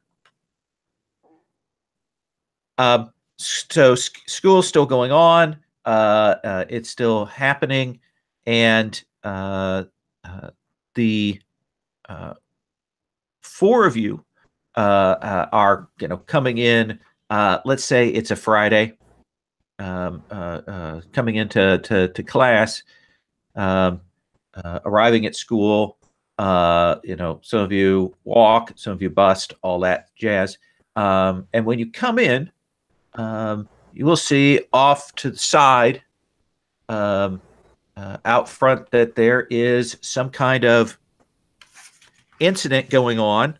Um, and uh, it looks to you, all of you can see the telltale glow that says that there's something odd there. Some prodigy or memento or something in the midst of that. Um, so, uh, Darlene, what do you do? Uh, I go and scout it out with uh, some of the other girls from the bus. You know, we all have our books out in front of us in that sort of super protective way. And I sort of send them over there, and then I drop behind them so I can get an eye on it, but I've got some screen between me and the situation so that no one sees me in case I have to change. Okay. Um, uh, so uh, you will uh, see that there is clearly a kid. Um, you recognize him. Uh, his name is Arnold. Um, and he's just been pushed down to the ground. and there is one of the football players, uh, uh, Jeremy, uh, who has shoved him and knocked him down, and uh, it's you don't see any kind of sign of of Arnold being a prodigy, but you can see the glow, like he has a memento in his pocket. Um, uh, like he has one of these objects. You can see that telltale glow that tells you there's this object of, of power there. Um, and and this this football player is, is just kind of knocked in the ground, and you're not sure whether it's going to go any further. Um, uh, Anthony, what would you do? Oh, I'd uh, I probably would uh, I probably like, well, before I pick a mess, I probably would have looked for a teacher, but uh, would you go yes. get a teacher? Well, if it, no, because uh, I'm assuming I also know that there's a memento. Well, you saw that that uh, mark from a distance. You're not sure exactly what is going on, but yeah, in that case, I wouldn't. I think I'd want to check it out myself uh, in case I had to do something regarding that that I didn't wouldn't want to see teachers sing. So probably would uh, uh, step in and try, just try to get between the two. Maybe not necessarily. Uh, probably focus more on just shielding uh, the. Uh, Okay, uh, I think that's going to be a let's let's make this kind of a social task here to kind of get in the way and interrupt. Uh, these are football players, uh, oh, okay. you know, in the middle of things, and and to kind of get your guts together to to push out there. I think it's going to be difficulty four. Okay. To do that, do you have any skills or anything that would apply here on your teen self? Uh, no, and the teen skills are we allowed to just fill them in as as we see fit? Absolutely. Okay, I gotta start. Well, I know one of them, but that won't be helpful. Uh, right now, I've I've got to assume that I don't really. Oh well, non-combat tasks when I'm holding the law. I've got I can do I can apply that. Um, That's perfect. just- yeah, yeah. If I'm since I'm not really being confrontational because I know physically I, I don't stand a chance. So yeah, just basically just try to uh, sh- you know probably just like just be forthright and earnest and try to shame them into uh, into leaving uh, poor Anthony So alone need- or Arnold. That's going to reduce difficulty down by one. So you're going to Okay. need a nine or better to succeed at this. Ah, and is this the point where we open up roll for the, Yeah. the roll Here, I'll. I'll drop the link back in the, the chat message here. equal advanced Martin? This is another one of those excellent games where I never roll. right. Uh, so I'm submitting a D20. I'll label this uh, Abraxas. And let's see, what's the closest to deep red? Oh, we'll just make it red and submit. And hey, I've got a die. Okay, now it's time to roll the die. And hey, I rolled a 13. Okay, uh, so you get in the middle and and kind of draw attention and kind of get and uh, the football player. You know, it's not just this guy Jeremy. He has a couple of his buddies by him, but you kind of get the the situation de-escalated a little. Um, yeah, I think what, what I do is I'd, I'd cite the since I am lawful by nature, I'd cite the fact that uh, at least according to the um, the charter for the football team or whatever they have, you know, they could get uh, suspended from a game if they're caught uh, bullying, even though it never gets enforced. But I don't need to bring that up. You don't need to bring that up. Uh, Sean, what would you do? See this kid on the ground. He's clearly got one of these mementos. Uh, uh, you see that uh, uh, Anthony has, has stepped in the way. Ooh, wow, this is not really my thing. Um, I, I mean, I, I'll look around. Are there any teachers? Teachers are good at breaking this stuff up. That's their job. Um, I will say no, but I'm going to do an intrusion here. And I'm going to offer you an XP. Um, and you get to give one of those X, uh, get one for yourself and one for a an, uh, another player. Take one, Anthony. You're one who caused this problem. It's your fault. um, you kind of look and by the buses, uh, you see a guy that A looks really out of place to you. Uh, and B, he has a very strong glow. Um, there's there's a certain amount of uh, the the depth of the glow that you've perceived with the mementos and these prodigies that that kind of uh, defines their level a little bit. Um, and this guy, he looks he looks weird. And I'm gonna, I'm gonna grab up a picture here. I'll drop it in the NPCs. Grab that. One sec. I'm so glad it never goes to the right folder at first.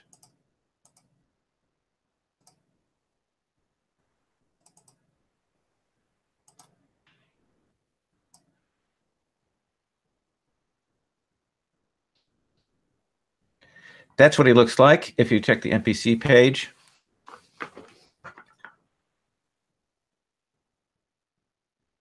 Um, and he is looking right at you. What do you do?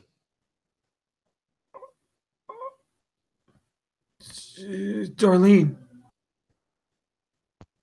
Kind of shuffle over closer to Darlene and Dar- Darlene, look at that freaky guy. He's like a biker or something. And she'll look over and you'll see her eyes and it's like like, oh God. and so she'll sort of now I have some skills like stink eye or whatever. Do I have to have my mask on in order to use absolutely all of your powers you have to have your mask on. There's there's there's a couple of you have like an ability that's listed as a teen thing, but otherwise you have to put your mask on to ha- use those. Okay. Uh, then essentially she's going to see that. She'll roll her eyes. She'll step up to um, Arnold. Um, she'll kind of give a look to the football players and say, "We went to kindergarten together." And she'll pull him up. Okay. Um, essentially, let, let me let me cut now to Eric and see what Eric is doing um, as you kind of pull him up. Eric, what do you want to do? So I think You see Eric is, Jeremy. Yeah, Eric's actually a, a walker. He comes into school and he's kind of walking across the field across from uh, school and sees this whole mess going on. And where he sees it's Jeremy, um, he come, you know, he turns and heads in that direction of where everybody is. And, you know, he sees the glows and everything, but his focus is on Jeremy. And he gets up in Jeremy's face and he kind of pushes him, you know, a little bit and says, you know, why don't you leave him alone? we all know what you're looking for. You know, you're looking to take out, you know, um, how much of a slut your mom is. And why don't you just figure it out? Yeah. All right, so you're gonna get up in his face, and you're gonna try and are, are you trying to start a fight, or you're trying to intimidate him? Um, I'm kind of trying to intimidate him and change his focus. Primarily, it's change his focus because Okay. I know I know Arnold probably can't take the beating that I can. Okay. Uh, if your intention is to intimidate, that's one difficulty. If your intention is to get slugged, that's a lower difficulty. Um, let's do that. Yeah. Okay. Uh, so I say it's difficulty two uh, to get uh, punched in the face by this football player. Nice. Okay. Um, so I have a teen ability that in a tense situation I can escalate threat to an art form. Okay. Um, the difficulty of your attempts to intimidate, cajole, or threaten is decreased by one step. I don't. I think I'm still getting slugged. Right? Yeah. Yeah. So so so now now we're at a difficulty one to to to draw his attention. And I'll just roll that. Okay. I got a 16. So yeah, you will draw his attention. Um, at that point, I need you to make a speed defense roll. Yeah. Um, I think this is a football player. He's pretty strong. He's not a fighter, but I uh, but he's right up in your face, and he is going to punch you. Difficulty three to dodge this. Okay. So, um, I added a skill of danger sense to my. Uh, Oh no no no no danger sense. That's that's not a teen skill. Oh, okay. Um, so I'll take that off then. Yeah. Um, so I think I kind of am expecting this. I know what's going to happen, so I think I kind of want to roll with the punches. Um, so that makes it a difficulty two. Uh, Yeah, I'll give you that as an asset. That seems fair. And then I'll roll that. And I got a 14. Okay. So he goes to slug you, like he actually cocks back and goes to punch you, and you will get out of the way. Um, so uh, I want to check in uh, with Sean again since this guy is still there, and then I'm going to come to Anthony. Okay. Um, Sean, uh, uh, Darlene seems to have not taken this seriously. That guy's freaky deaky. I I'm looking for some place to go put on my mask. Okay. Um, kind of. Uh, where do you think you could could get to to put your mask on? Were we out by the buses? I'm I'm sorry. Yeah, like like imagine that you're out front, the front doors of the school. You're on that front lawn, sidewalks out there, that kind of uh, uh, front area. The place that we see in all the movies of high schools, where the cars pull up and there's that the, them all coming up, that kind of thing. Oh well, yeah, a bunch of cars pulling out. It's probably like a parking lot. Yeah, so he'll just run over and try to find some big truck or something he can hide around. He just needs to get out of his. Maybe he'll jump in the bed. He'll jump in the bed of a truck. Okay. Nobody will see him there. He can put on his So- mask. Uh, you take off and uh, you will go over there and you'll pull that mask on. Um, Anthony, uh, uh, there's this fight going on. Um, and now this guy's going after Eric. Yeah, I'll um, I'll I'll see Eric can take care of himself. I'll, I'll go to Arnold and just try to like take him aside, uh, just like take him by the shoulder and, and just gently nudge him and say, "Hey, let's let's let's get out of here. Let's let's head for the library or something." Uh, so you and Darlene, uh, uh, uh, uh, uh, Anthony comes over. Uh, Darlene, you've gotten Arnold up. Uh, uh, Anthony comes over. What do you guys want to do then? Well, we know that Arnold has that thing in his pocket, so Yes. it's essentially getting him off and away. Um, the thing is, is that Sean pointed out that guy to me, so I'm looking to see who that guy is looking at. If it's a Arnold or where Sean just ran off to. Oh, he's moving over towards the parking lot now. Oh, is he? Well, then I've got all these people behind me, which is, or so I'll go. I'll give um, uh, you the the thumbs up to take Arnold off to the side. Say, see what's in his pocket. Really quiet. Um, and I'm essentially going to start circling around so that I too can get behind some cars and come around if there's some sort of bad thing happening for Sean because I want to get my mask on. All right. Uh, so yeah, you can you can, can move over there, uh, get your mask on. Uh, Anthony, you want to get this? Uh, you want to get Arnold to a safe place here? Yeah, definitely. Okay. Uh, so yeah, you can get him inside the, the school entryway and uh, get him settled there. Um, uh, and some teachers will come up um, Yeah. they hear that there's a fight. Uh, before the teachers show up, I'd like to uh, say something to Arnold if, if I have the time for that. Sure, sure. Yeah, so I'll, I'll I'm gonna I'm gonna tell a fib. I'm gonna I'm gonna break one of the commandments. Uh, I'm going to say, um, in uh, I'm gonna s- tell Arnold that uh, the jocks lately have been pulling pranks. Uh, they've been uh, they've been harassing kids and then pickpocketing them while they're while they're um, and you know you know all freaked out and uh, not not likely to notice. So we better like check our pockets to make we're gonna check our pockets make sure everything's in there. I, I'd like leave the example by just taking out you know my wallet and you know I'm sure I've got like a little Bible in my in my other pocket or something. So you, what's what's in your pockets? Are you all clear? Do you have everything? So uh, I don't think we need to do a roll with this, but what you'll see him Okay. do when you say that, his hand goes to his pocket, like, like that's immediately his hand, like he knows there's something up, and you see him reach in and he, he you know, he clutches something uh, in his hand, like, like it's the most important thing, and he's like, yeah, yeah, yeah, and he starts to to to go to to move off. okay. Okay, so he definitely knows about these things, Mhm. um, uh, and definitely brought this with a purpose. Okay. So I think at this point, now that we're alone, I might want to like actually um, try We'll to come back his confidence. Yeah, we'll come Okay. back to you in a second. Um, uh, I want to see what uh, uh, Eric is doing, and then I'm going to come to uh, the battle in the parking lot. Yeah, so I think I, I think at this point Eric is just taunting Jeremy and taking whatever beating is necessary. Okay. Uh, to, what's your intention here? What is it that you want to have happen? Um, I think I just basically wanted to come in and provoke things so that um, Jeremy paid attention to me and Arnold could uh, get away with everyone else, and that was it.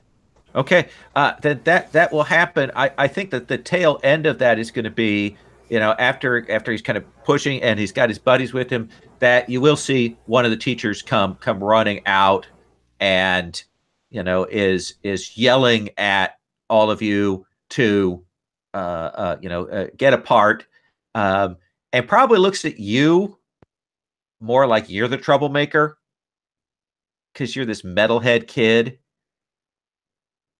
Yeah. Okay. Um, so so there's teachers up with you, gets it spread apart, so you get you get some breathing room, and the football players are pushed. Arnold looks like he's to safety now. Um, I'm going to cut away from you. So I Um, don't think Jeremy had any. You know, I didn't land any good hits on him, but I think he got a good hit on me or two. So I cut like a bloody lip or something. Oh yeah, Yeah. yeah. Uh, got that. And you can feel that kind of swelling up when you get hit. It goes that numb, and then you can start to feel like it's going to hurt after a while. Yeah. Um, let me ask you this, Dig Dug. What does it look like when you put the mask on? Oh man, when I throw on the mask and then I buckle the the dog collar, everything starts to like grow, but it does it in this like weird bubbly thing. Um, oh, there was like a one of the werewolf movies I remember where like the skin kind of it's like they had you know the the skin the muscles will grow in an uneven way. So there's Uh-huh. this like horror shot of all of the different parts of his body growing in really awkward and bizarre ways. Uh, and then, you know, I imagine the truck kind of lowers down a little bit. Yeah. Um, uh, uh, and then you pop out. Yeah, dude. Okay. Bulldog pops out for sure. Bulldog pops out, and you will see this guy. uh, He is walking sort of steadily towards where you're at. Like he clearly saw you go this way, and he is following you. Cool. Says, You want a piece of me? Steps out of the. He doesn't have to step that far down out of the truck bed. And he goes, Yes, yes, I do want a piece of you. And I'm going to take it right now. And uh, comes on up to you. Um, and uh, he actually goes to, uh, uh, takes his hand. You see his hand kind of clench. He's got those rings in it. Um, and you will see that hand become like silver um, and then he swings to to just hit you in your midsection. Um, so you may make a speed defense roll. Okay. Um, difficulty here is a six. So it's a six level six. Okay. Awesome. Yes. So it's an 18 or better to avoid this blow. All right. Uh, so I'm taking a look. I've got very little that's gonna, other than just spinning out of my speed pool, that it looks like that will work here. Okay. Double check my no need for weapons, unarmed attack, golem healing, stone, golem body, bash. Yeah. um, I'm going to. So right now, I would need an 18 or better Yeah. level six. I'm going to spend three speed to take this down to a three. Uh, well, it'll go down by one shift. So it'll go down Oh. to a five. Three to one shift. Oh, crap.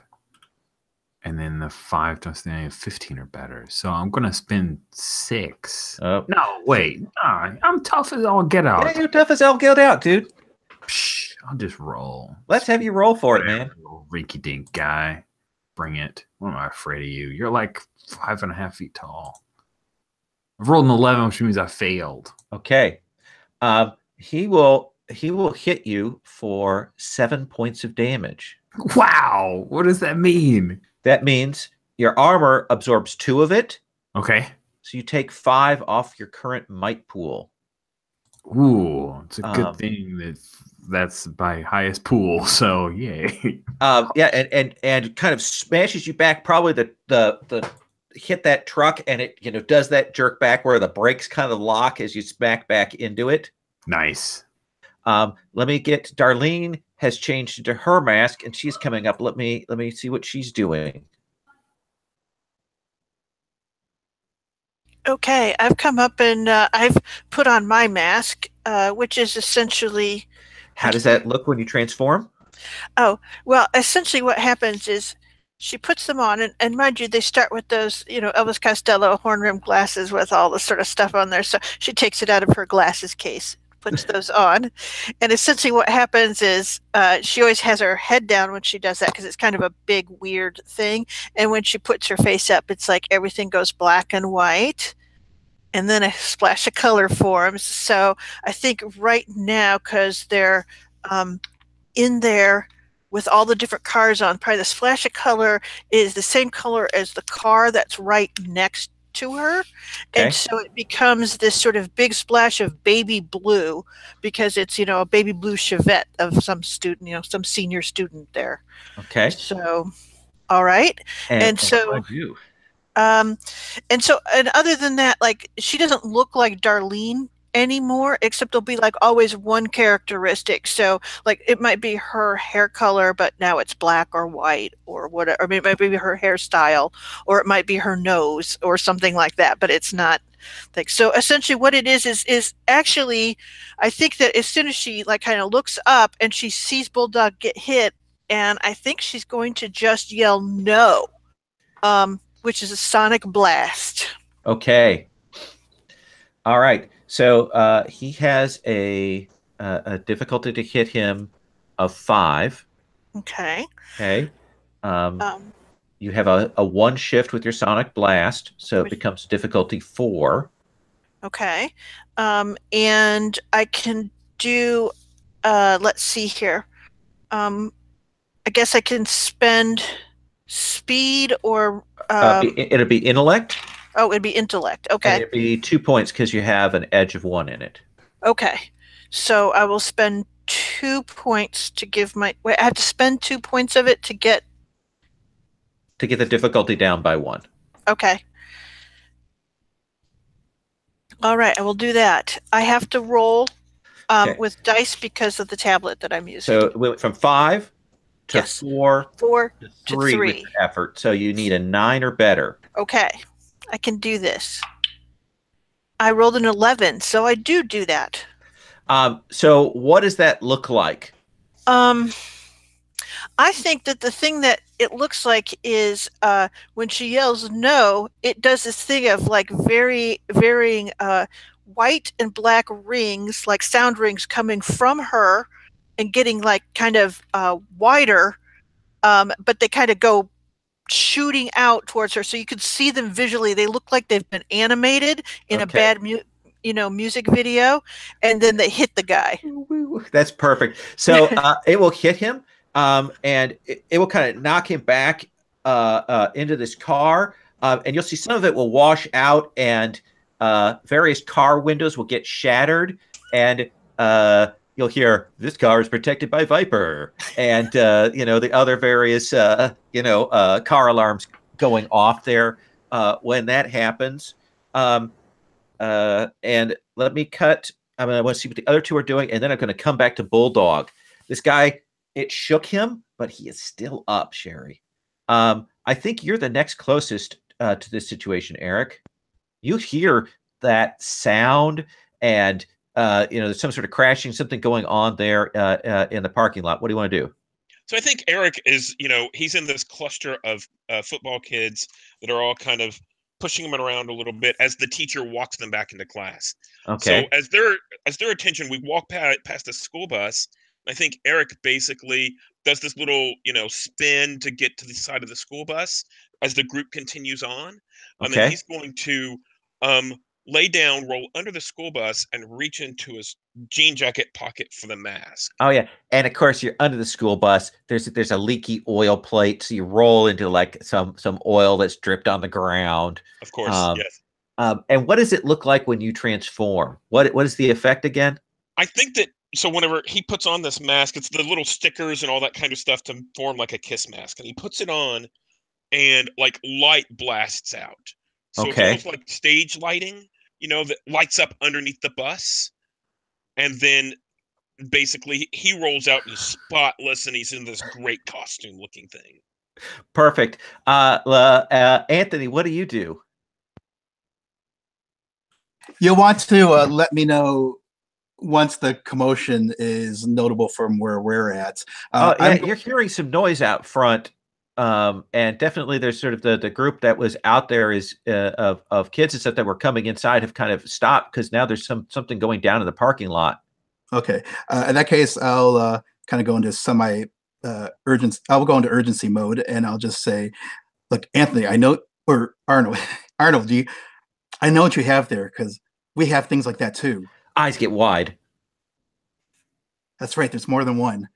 Um, and I'll, I'll, I'll show, I'll show mine, and we'll see if he shows his. Um, I'll take uh, my mask out of uh, my backpack, and it should be. And we're, we're known in the city, so it'll be readily apparent who I really am um, once he sees the Abraxas mask.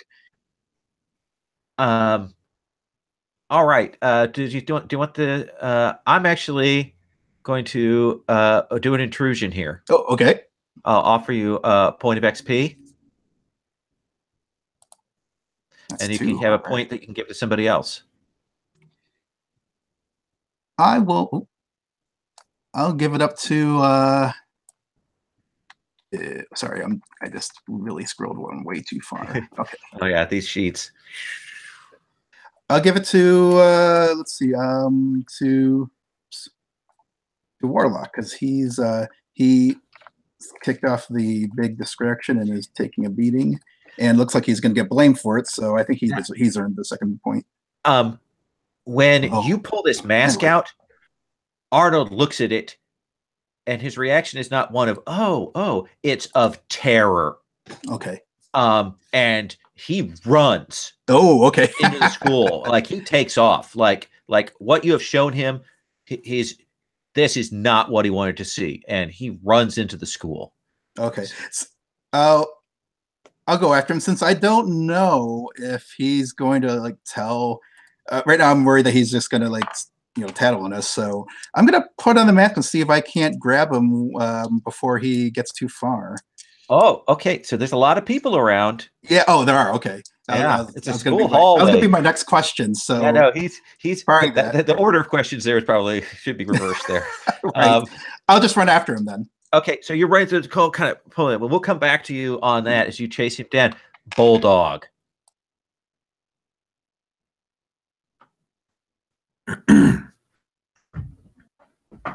Wasn't bad.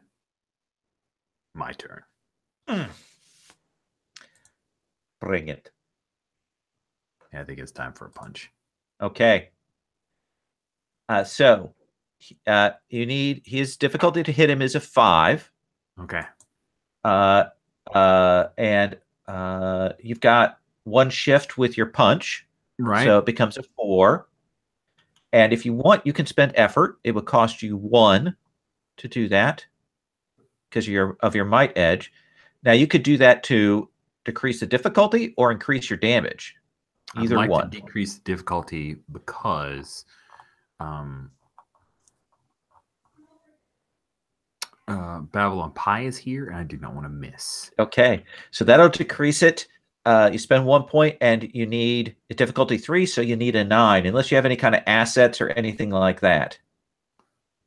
And when you say one point of effort, I'm I'm look I'm, I'm oh uh, so uh, when I say one point, you spend one point from your current might pool. Okay, cool. So you're saying I spend from the pool because I was that's what I was going to say I was going to do, but then and it's cheaper because I have an edge, right? That's yeah. why I'm able to spend one from that thing. Okay, cool. Yeah, I will spend. If I spend two, does it take it down two shifts? No, because you guys are tier one. You can only use effort once right now on any okay, so particular action. One out of my might pool, and that takes it down to a three. Is that right? Uh, that yeah. So got five, four because of punching, yeah, one so because of nine or better. Okay. Now I'll, I'll tell you another trick is: Do you have any assets? Assets are like stuff that you have uh, that you want to use, equipment that you want to uh, use uh, to to get yourself another shift. I have a pummeling melee attack. It's one less point of damage, but dazes target. I have I can conceal a heavy weapon and, or an inanimate object weighing up to one ton on my person. Or there's also stuff around you in the parking lot. Oh yeah, I love that one. The where did that come from? So Can, can I hit him with the truck? Can I pick up the truck and just mash him with it? That is I- terrible. I figure you can probably grab a, a big piece off of it if you want. That seems like a fair thing. Sweet. I grab the tailgate, the big Toyota tailgate, to- the Toyota on the back of it, tailgate, and just whack him upside the head with Okay. it. So that's an asset. It's equipment. So that'll reduce the difficulty by another one. So it becomes you need uh, it's difficulty two. So you need a six or better. Oh my goodness, you're so getting hit, sucker. Here we go. Reroll. Hold on. I rolled a one. That's awesome. I rolled a one. That's the that's what I wanted, right? Yeah. The one's good now in this game. here's your choice. Uh, you have X. You have XP. So you could spend XP to reroll, or or that's a major effect failure. Damn, I'm not spending. I only have one XP. You know, I, I'd like to. I'd like to get something out of this damn game at some point. Dang it! So- So, hit me with your best shot.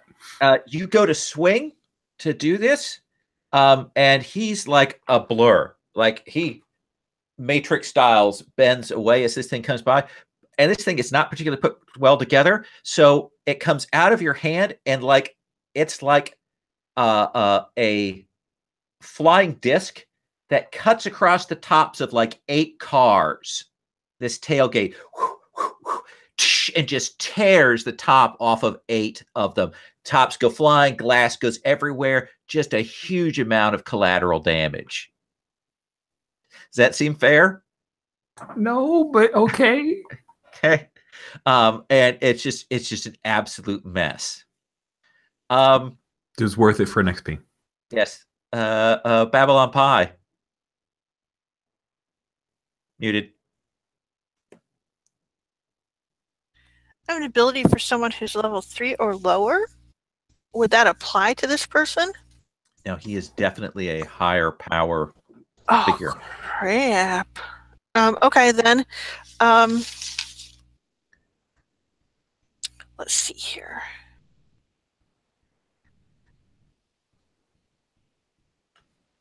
I think that. Um, what have we seen before? We, you said that we've seen other of these um, super guys or whatever around or heard about them.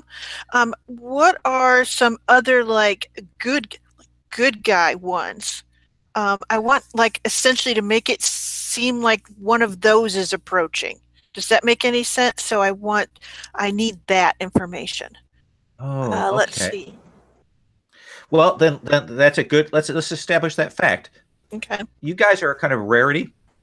Let's say that there is one other mask that you've that you know about that has been a like a powerful solo hero that that people are kind of talking about, but he's the only other one besides you that are sort of people think you know it might be a good guy. So who is that?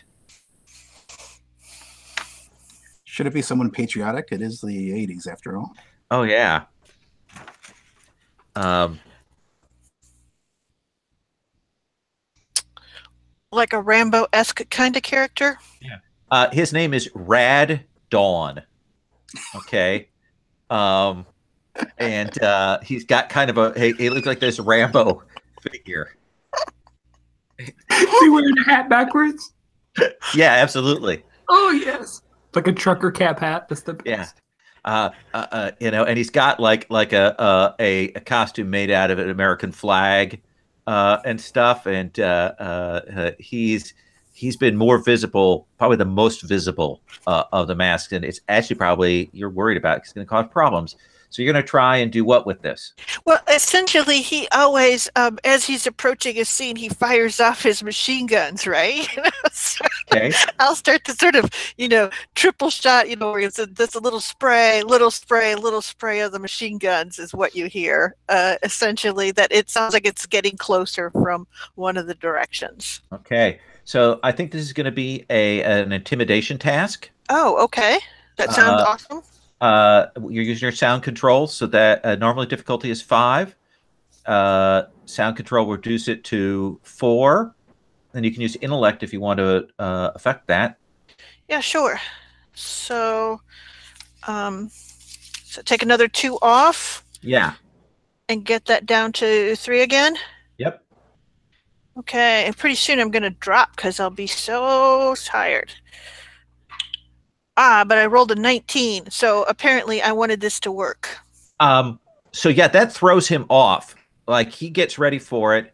Um, and in fact, he's looking like where the sound is coming from. It draws his attention off from Bulldog and draws his attention off from Eric as uh, Warlock approaches. Does that seem cool? Like that's a minor effect? Yes, I can live with that. Uh, Warlock, you come uh, up and you see Bulldog uh, devastate uh, a, a lot of people's cars in the parking lot.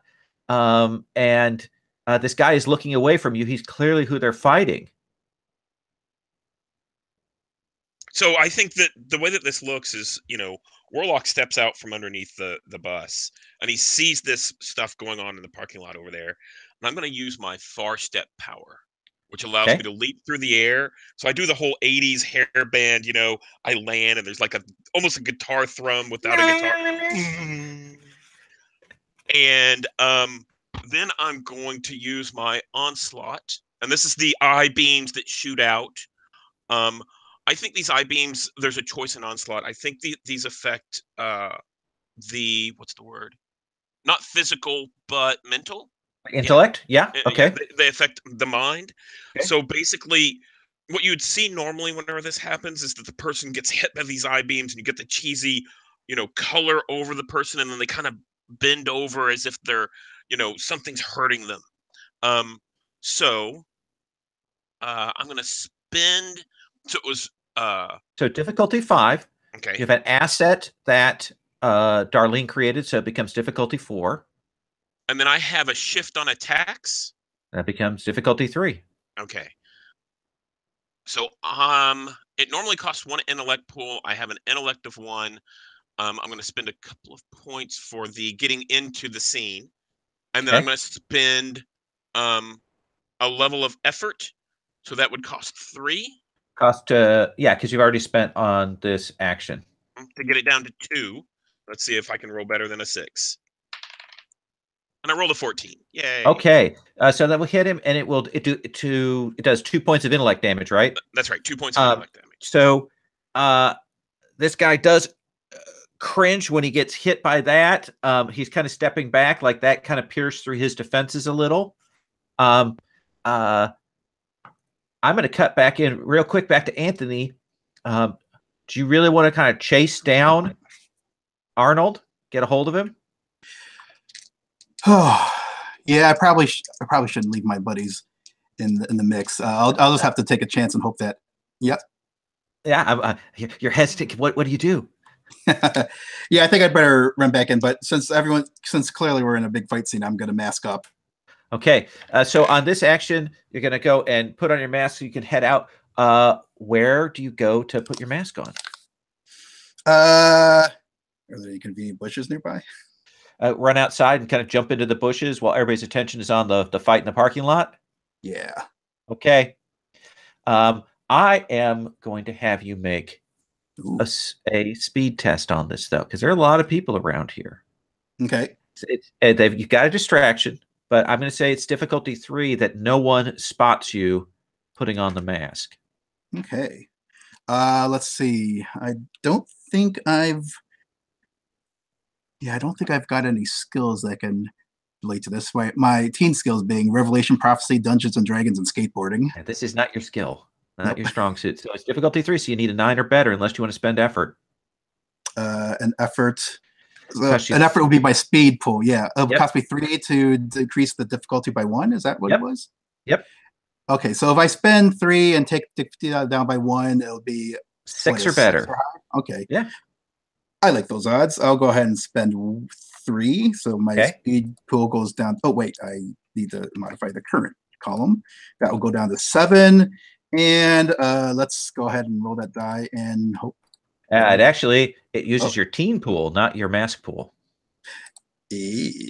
So, oh, did I mark it You adjusted? Oh, under okay. uh, Abraxas rather than above. I see. So let me correct that. And my team pool is oh look at that. It's much not much much less optimal. All right. Well, I'll spend it anyway because yeah, we got a Okay. top secret. All right, let's see it. All right.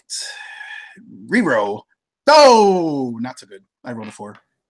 Okay. Uh, so you are able to get the mask on Mm-hmm. um, and uh, uh, uh, uh, pull that and transform. But uh, as you are kind of standing up, uh, kind of out of the corner of your eye, uh, you see somebody staring at you. This girl, she Mhm. has that prodigy glow like you do, Okay. and she's clearly seen you change. Mhm. Okay, we'll I'll- come back to you in Sure. in a sec. Okay. okay. Um, Bulldog, uh, this guy's action has been blown. Uh, uh, he was going to swing at you, uh, but uh, Darlene did that distraction to him, and then uh, you saw uh, Eric land. Um, now, what do you do?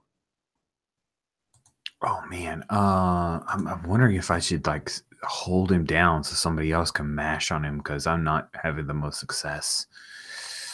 Oh man, Babylon Pie, she could do a lot of damage to him. I just know. I just know. I'm gonna I'm gonna grab and hold him. Is there any kind of team up maneuver that's possible in this game? Oh yeah, so so what, when you do that, you're actually creating an asset for your companions.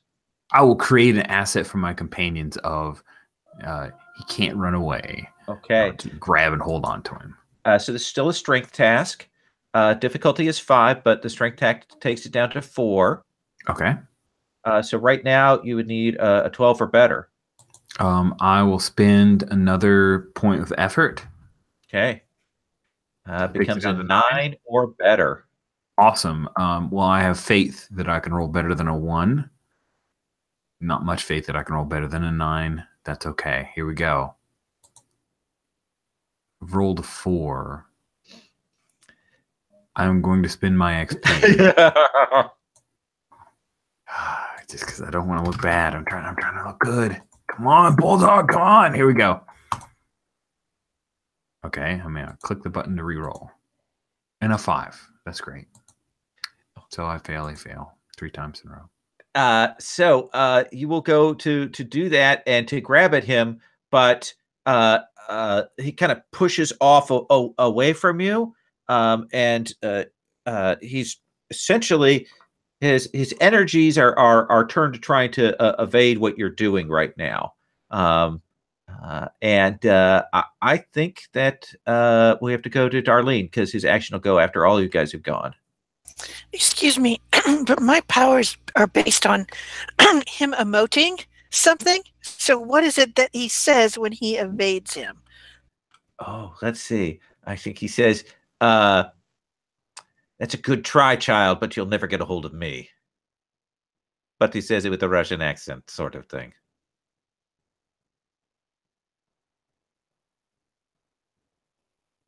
Dang it. He said something that wasn't particularly useful to me. Okay.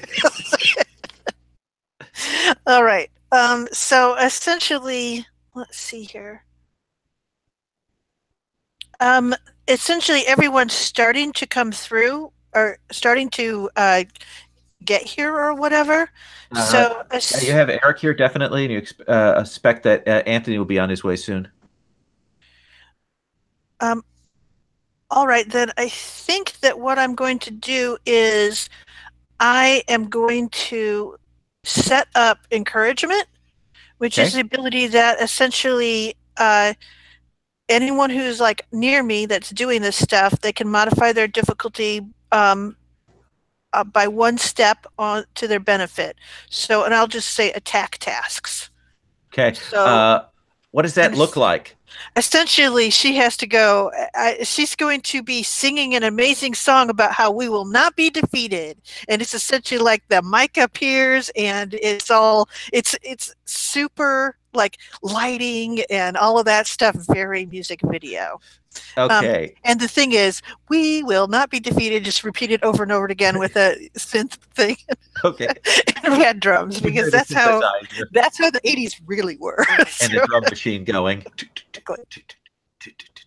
Okay. Um, uh, Eric, uh, now that you have a soundtrack, uh, what do you do? So I think that um, I think we need to try to overwhelm this guy. Okay. Okay. He is stronger than you know. He's stronger than like Bulldog, and he's able to take my eye beams, all that kind of stuff. I'm kind of scared. So what I'm going to do at this point is I'm going to call my future self. Okay. Um, so that's uh, three might points, and a time duplicate of myself appears somewhere in the sight range and tackles a person or lands on the target. So I think this is he basically lands on top of uh, this Russian dude. And he's this all tatted up, roadie looking guy with a tire iron and just kind of wails at him. And mechanically, what this does is it gives everyone else an a- uh, an asset to attacks. Okay. Yeah. That sounds great. So uh, uh, spend your points for that. And uh, out of thin air during this this uh, uh, song, this roadie character who looks vaguely, vaguely like Eric, uh, uh, appears and starts wailing on this guy. Um, uh, I'm sorry, Lowell. We're in high school. Anyone over the age of 30 doesn't look vaguely like anyone to us. okay, fair enough. Yeah, That's right. you never recognize those things. Okay, so yeah, so this stranger uh, appears out of nowhere, but you've seen this effect before. Um, Anthony, what is your demonic entrance look like? So I yeah I I'd slip the mask on. I probably um, recite some incantate some incantation I uh, deciphered from uh, I don't know I pulled off a mo- D&D module or something or or made up stuff to that effect. And as I do that, basically, um, as I slip the mask over, like this red mist, or maybe more like a red slime, just starts oozing out, almost like it like I'm drowning from within the mask. But um, as it covers my body, that's how that's how my body uh, transforms, and uh, then the mist kind of comes off me, and that's how I uh, shift into Abraxas form. And I think it's just kind of more. Um, let's say he's more kind of like spindly and sharp, like a lot of sharp, jagged edges. Okay, Um, and uh, that's that's what he looks like, kind of more um, elongated. That more like elongated and angular than big and bulky. And and you kind of rush out of the bushes into the parking lot to engage in this. Mm-mm. And uh, Uh, and I, see- I will tell you that everyone who is there on the front that had been kind of watching to see what's going on, as soon as this demon comes popping out of the bushes, they probably run screaming back. Okay. uh, so all of you uh, over there will hear screams from the front lawn. Um, so what is it you want to do when you pop up and see this guy getting wailed on by Bulldog and uh, this old dude? yeah, well, whoever is do, uh, yeah, I'll, I'll just try to. Um, I think I'm going to try to lay on the death touch on one of these, uh, one of one of these uh, villains. Um, preferably, let's see, Preferably the, the- actual villain? what's that? Preferably the, the the one who looks like the actual villain. You're gonna gonna. Oh, gonna- that's true. Because I, well, I know, I know who, what Eric looks like. I, I've seen him. Well, it, it- this, and this figure is Oh. definitely uh, along with Bulldog beating on this guy. Oh, I see. So yeah, I'll, I'll just follow their lead and uh, see if I can uh, apply the death touch. Um, Okay. and my my one of my clawed hands will just start oozing um, like a whole bunch of uh, green or red, deep red, blood red ichor, and that, So- that's how it manifests.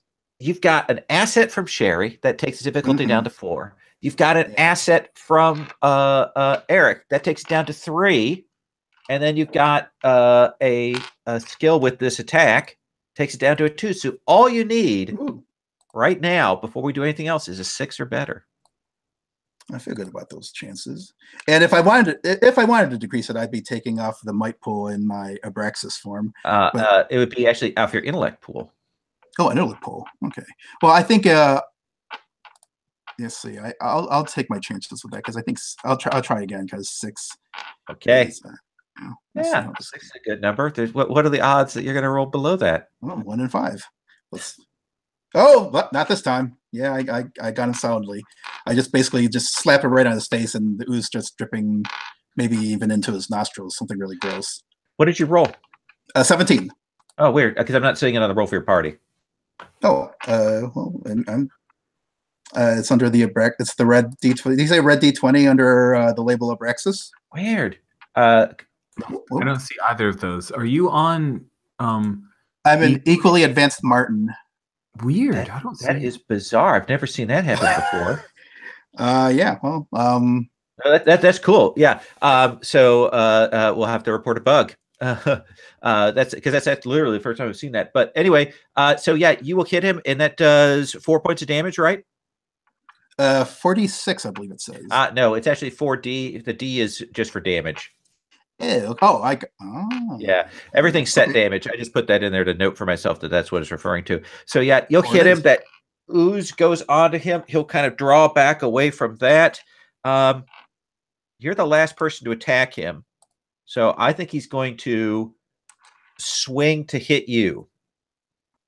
Um, and you see his uh, arm uh, uh, goes uh, into to metal um, uh, on this side, uh, and uh, uh, he essentially goes to just knock you back.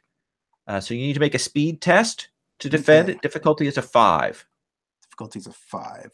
So, ooh, yeah, that's not good. So let's see. Um, my skills. I'm looking at my Abraxas skills. I've uh, initiative fast. That doesn't do anything for dodging. Or is that strictly for initiative? That's Oh, I've strictly got for speed. initiative. I, I do have speed defense. That lowers it down to a four. Okay, fantastic. Um, so I can't. I'm not really seeing anything else that I could Okay. apply to that. Uh, resist questioning, stealth, initiative, fast. If you want to spend three points from your speed pool, we go down another tier. Yeah, let's do that because I. Okay. Oh, Absolutely. So you need a nine or better not to get hit by this dude. Okay, let's see what happens. Rolling again on my invisible die. Yes. And I, ooh, I'm glad I spent those points. I rolled a 10. Okay. Uh, so he goes to swing and he probably uh, comes past you and hits the nearest car and just absolutely uh, crunches in uh, the the back trunk of this Pinto. Um, and it kind of folds up there uh, as he does it. It kind of yanks that back. Um, Bulldog.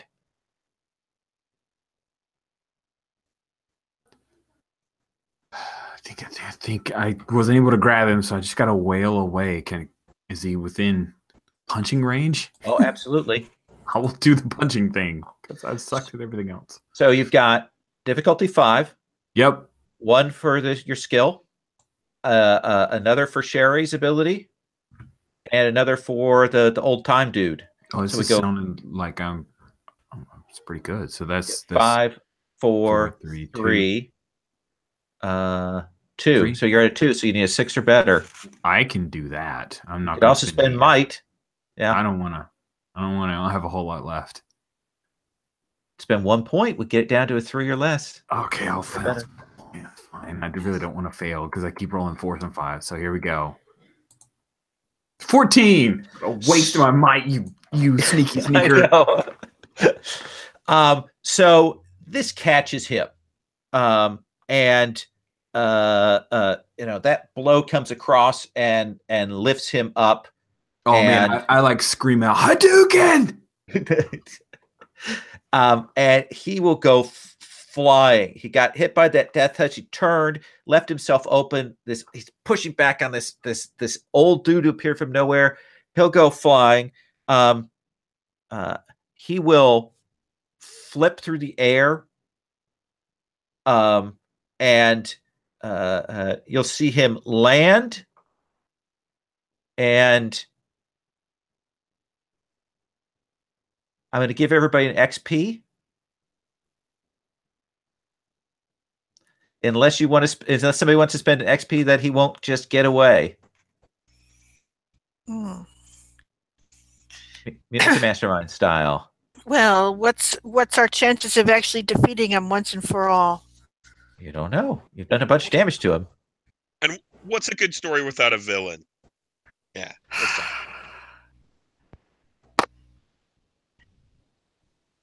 It it almost seems like we need to have him continue on, but oh, I loathe the idea. Um, uh, he looks at you, Bulldog. Um, after that hit, it kind of shakes, shakes, um, and uh, he goes, "You, I'll be coming for you."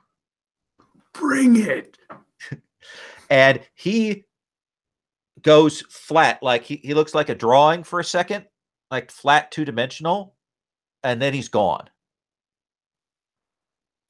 What? And there are all these people screaming and shouting, and there's this fight going on in the thing, and you guys are all in your masks, and the school is watching. Hmm. Darlene, what do you do? Right. um, so essentially, I think that what I'm going to do is, um, I let's see here. I think I have the spin identity, so I'm going to spend two intellect points. Uh, just to look like a regular student. Essentially, that's the idea. Is yes, I'm still in black and white with a splash of baby blue, but I just look like an ordinary student. Like you Um, kind of I- up. Okay. Right. That we just happen to be standing here. Um, and I think, yeah. So I, th- I think that works for me. I don't think I can do it for other people. It says you, and then it has a thing where it says, um, "We're from the government" or whatever. So I was uncertain. Okay, uh, that seems fair. Uh, let's say two points, and we'll make a roll on it because that seems like a, a nice out of combat effect Okay. there.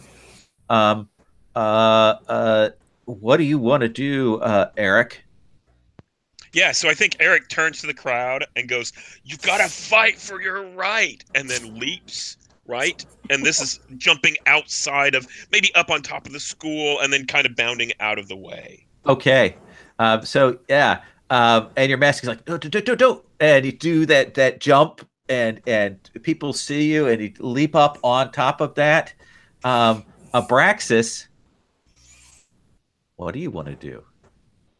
Yeah, I, I, I don't plan on making any any big speeches to the kids. I think I'm just going to try to slink away as um, the other my, as my teammates are making making a scene in their departure. Hopefully, I'm just going to try to slink away and stealth out of there. Okay. Um, Uh, I, I will say, given given the, the fight for your right to party uh, uh, pull, that uh, uh, you can, if you want to, you can get ducked down and pull your mask off, and uh, uh, without any problem. Bulldog. Uh, I think there's a little bit of posing. There's no time limit on this. And I'll, I'll be like, all right, kids, don't do drugs. Stay awesome. Okay. Uh, and and uh, do you run off? Do you take off? Well, how do you do this? Dude, walk off into the sunset until they can't see me, and then I run. Okay. Because you're hearing the sirens coming. Yeah, then I run. Okay. Get behind there. You know, of course, there's houses next to the school. You have to get into somebody's backyard. Um, you know, pull it off as you can hear their their terrier We're barking. hearing "Oh yeah" by Yello in the background as I'm hiding. Oh yeah. Dun, dun. Okay. Um, and uh, uh, so you guys will get disguised. There will be that bit uh, of a problem that you have, Eric, uh, uh, that you have to figure out how to get down off the roof.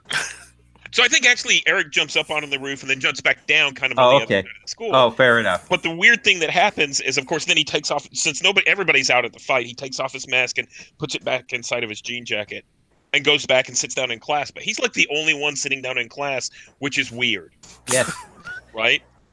that So- seems fair. Um, uh, so you will get yourself set. Uh, come back in. You've seen this guy. You know that there's Arnold, a kid in school who has a memento. Uh, Anthony, you've seen another kid who looks, uh, a girl who looks like she's a prodigy. Um, so there's a couple of things out there uh, in the air. Um, I think this is, we're, we're stopping a little early. We'll do the roses and thorns, but I think is a good place to stop. Does that seem cool?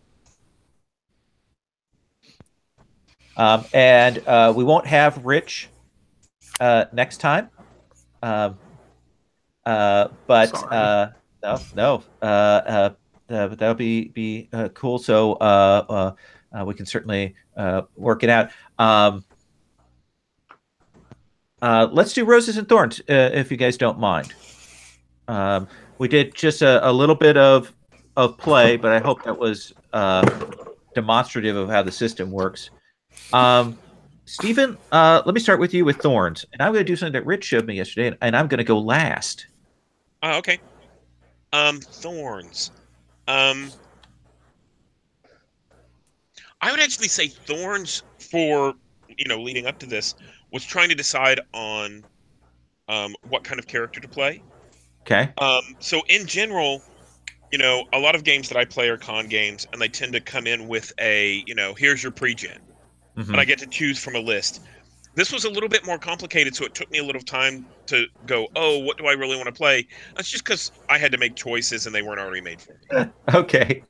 That's about it. Yeah, I debated about that. Originally, I was going to do kind of set pre-gens, but I wanted to actually have a chance to try the character creation. But it did mean that that that I think I made it more complicated than it needed to be. Well, actually, I like it. I like it a lot as far as giving choices to the players. Um, and I think it's only fair because all the burden should be on you. Um, I've run Cypher System in the past and just handed out the little one sentence. I'm a, you know, adjective, verb that nouns or whatever it is, Uh huh. and then characters chose from that. Okay, that's not a bad idea too. Rich thorns. Well, I have a, a personal thorn that we don't have a team descriptor or a team name, We should have a team name. Which Shit. nested underneath that is the thorn of my reading comprehension is poor. Um, I, you have a real challenge here with trying to present all of this data within our normal character keeper format, and I, I think you did a pretty good job. But it's weird having all of the little bits off of the tab that I'm looking at to Yeah. Make the character. I just don't know if there was necessarily a better one, but it's a weird thorn of like, okay, let me go over here, now let me go over here, let me hop to another tab to roll dice. It's like this is almost a thing where Roll20 if they had a good Cypher System character sheet might be pretty good So No? the Cypher System character sheet on Roll20, while it is very well done, is super complex, okay and that's what Just- kept me. just it out from there. Yeah, no. You know what I might do is I might actually copy over your uh the these stats and put them on the same tab as your powers. I'd still leave the the, the, the character sheet p- tab, but that way when you flip oh over and link it with equal signs so that if one changes you know you make a change on the main character tab and it'll reflect on that would be really super useful. Yeah, I'll do that. Yeah, I'll, I'll do that this week because I think that'd be useful functionality. Um, I'm actually I'm glad to have tried this because uh, when I go to do Predation, you actually have both a character and a dinosaur that you control. oh my gosh you get to control a dinosaur that's So so yeah, so that's going to be the more more, more challenging one. Uh, Michael Thorns. Uh, my, I guess my biggest thorn uh, was in the character creation process. I don't like just. I, I prefer not to just come up with abilities. Uh, um, on the fly, I, I it was hard for me to come up with the, Ah, what kind of superpowers I'd want. I did find online a list, a comprehensive list of uh, of Cypher foci, and that helped a lot because then I just read down the list and until something caught my eye. And then when I saw Consorts of the Dead, um, when I that's when I knew what kind of I knew I wanted to do kind of a Reagan youth character because um, I know a common complaint about like stories about the 60s is that sometimes stories tend to lean heavy on the fact that everyone's a hippie when in fact there are a lot of nor- you know normal you know conventional normal people who were you know the bulk of uh, a, a huge part of that generation as well. And I wanted to like cover that um, and then uh, when I saw when I saw the powerless I saw Consorts of the Dead. That that's when I started thinking about the whole satanic panic eight, uh, 80s thing and starting using that as a jumping board for my character. But uh, i think um, having a link to a comprehensive list uh, not just the four that were new to uh, to Yeah. uh, this game but that that helped a lot uh, so that would be that, i think that was my biggest uh, stumbling block in coming up with the character Yeah, I, I think if I would do this again, I would definitely present uh, a set of of clear, like, not too big lists to make those picks from to to pull that together. yeah i think it's a good idea because the list i found was went too far in the other way because included all the foci from all the Cypher games including Yeah. a lot that went relevant to my interests Uh, Sherry. Uh, for me, it was the annoyance of having to use this tablet, which means I can't flip between tabs very easily, which then meant a thing that turned out to be good, which is I have everything printed out, which makes this all amazingly much easier. Um, but then also I couldn't roll dice that you guys could see, so I could have been faking it. I wasn't. Um, also, the cat. The cat was a big jerk today and spent all of its time trying to nudge the tablet closed or essentially use the computer next to me, set off all the accessibility features so it would talk to it constantly. It was an awesome morning with that cat. So, uh, I'm going to say for myself, uh, still getting used to Cypher. Um, I think that there's a real challenge. I'm trying to get better at it. One of the things I I I'm very bad at is maintaining consistency in my terminology. So I was saying to Rich effort, you know, at a pool, you know, when when actually I meant this and, and stuff, and that was super confusing. And I need to be much more precise about that because you've already got so much that you guys have to worry about and and and pick up. And I, I didn't do you any service there. Um, uh, uh, and I made it made it more confusing than it needed to be. So so that's something I'm going to work on for next time. So that's my my thorn there. Um, Stephen Roses. Um, I really like the way that the characters came together. I, I, you know, coming into this, I picked some things specifically like Metalhead and Comes from the Future and that kind of stuff um, that I had never really seen before. But I didn't have a really good idea for the character until we went through this whole session. I was like, oh yeah, of course he's part of the Kiss Army. You know, he needs a mask, and of course, and this, I, I felt like the same thing kind of happened with all the other characters. It was like, oh, all of this is kind of fitting together, and all of our personas, I got, I have a really good grasp of it now. Yeah, very nice. I like that. Rich, uh, for me, I I want to say you know I think Michael made a bold choice in going with uh, kind of the '80s and heavy Christian evangelism, like I grew up in a notch in the Bible Belt, and when you first mentioned it, I'll be honest with you, I, I got a little nervous because there was definitely the whole satanic panic and the Falwell and and the oh shoot, was it PTL Club or something something? Oh yeah, the 700 Club. 700 Club, yeah, wow, all that stuff was huge, huge in the 80s. Uh, but I I also just tried to excise it from my mind. But I like that you kind of grasp onto it and I'm really interested in seeing where you take that. I thought that was bold and uh and just did squick me out, so that's good. I was ready to X card at some point, like oh really? Okay, I didn't need to, didn't need to at all. I just it's it's nice having that, knowing I have that. It lets me be a little braver as a player, whereas I might just make jokes and like completely elide any serious content. Knowing I have an X card allows me to to do that, and Kiss Army stuff's the best. Magical transformations, Sherry's so good, so good. Babylon Pie is the best. So I really like this group. It's good. Yeah. And good job, Lowell. This was I have played uh Numenera before, but I think that you did a really good job of succinctly saying, okay, do this next, do this next, rather than big overarching over explanation, lose me in the details kind of thing. Like we just jumped in and we got going. I, I think that's a really smart way to introduce people to things. Cool. Michael? Yeah, first of all, uh, Rich, I appreciate what you uh, said about my character choice. I was nervous about it too, because um, I, I, I didn't want to get into um, you know the kind of character who is all about the protestation. Um, I was also nervous that uh, whether my character would just immediately start out in conflict with the other characters. Uh, I'm glad we started playing at a point where we'd already jilted a team and we didn't, so I didn't have to worry about that.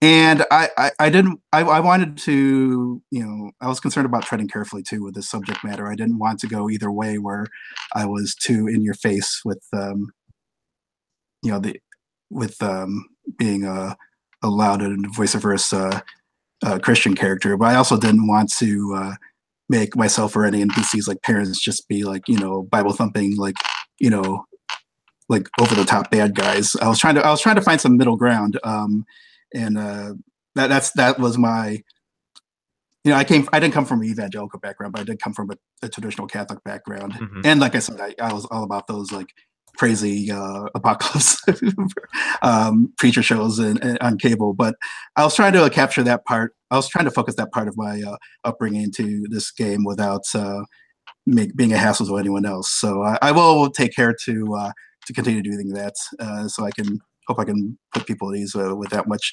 Um, for the rest of the game, I appreciate Lowell your um, your hand your handling all the different players. Everything went smoothly. Everyone got a good amount of screen time. I especially appreciate that you were. I could see you know the cues, sometimes even nonverbal cues, when I, looked like I was about to run off and separate myself from the rest of the group permanently.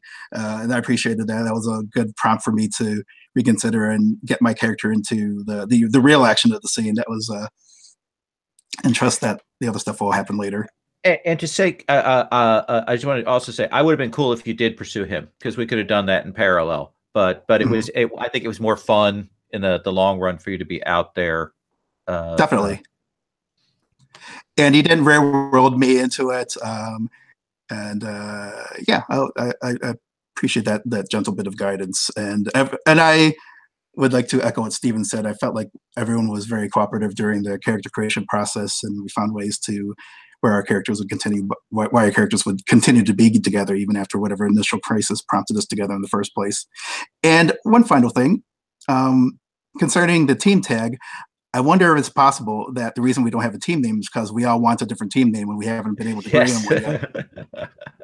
we so, have an uh, acronym that is a conglomeration of all the terrible right. We just, we just try to mash it all together. All our ideas. we are something uh, ridiculous. Uh, KTLD. Oh wait, what?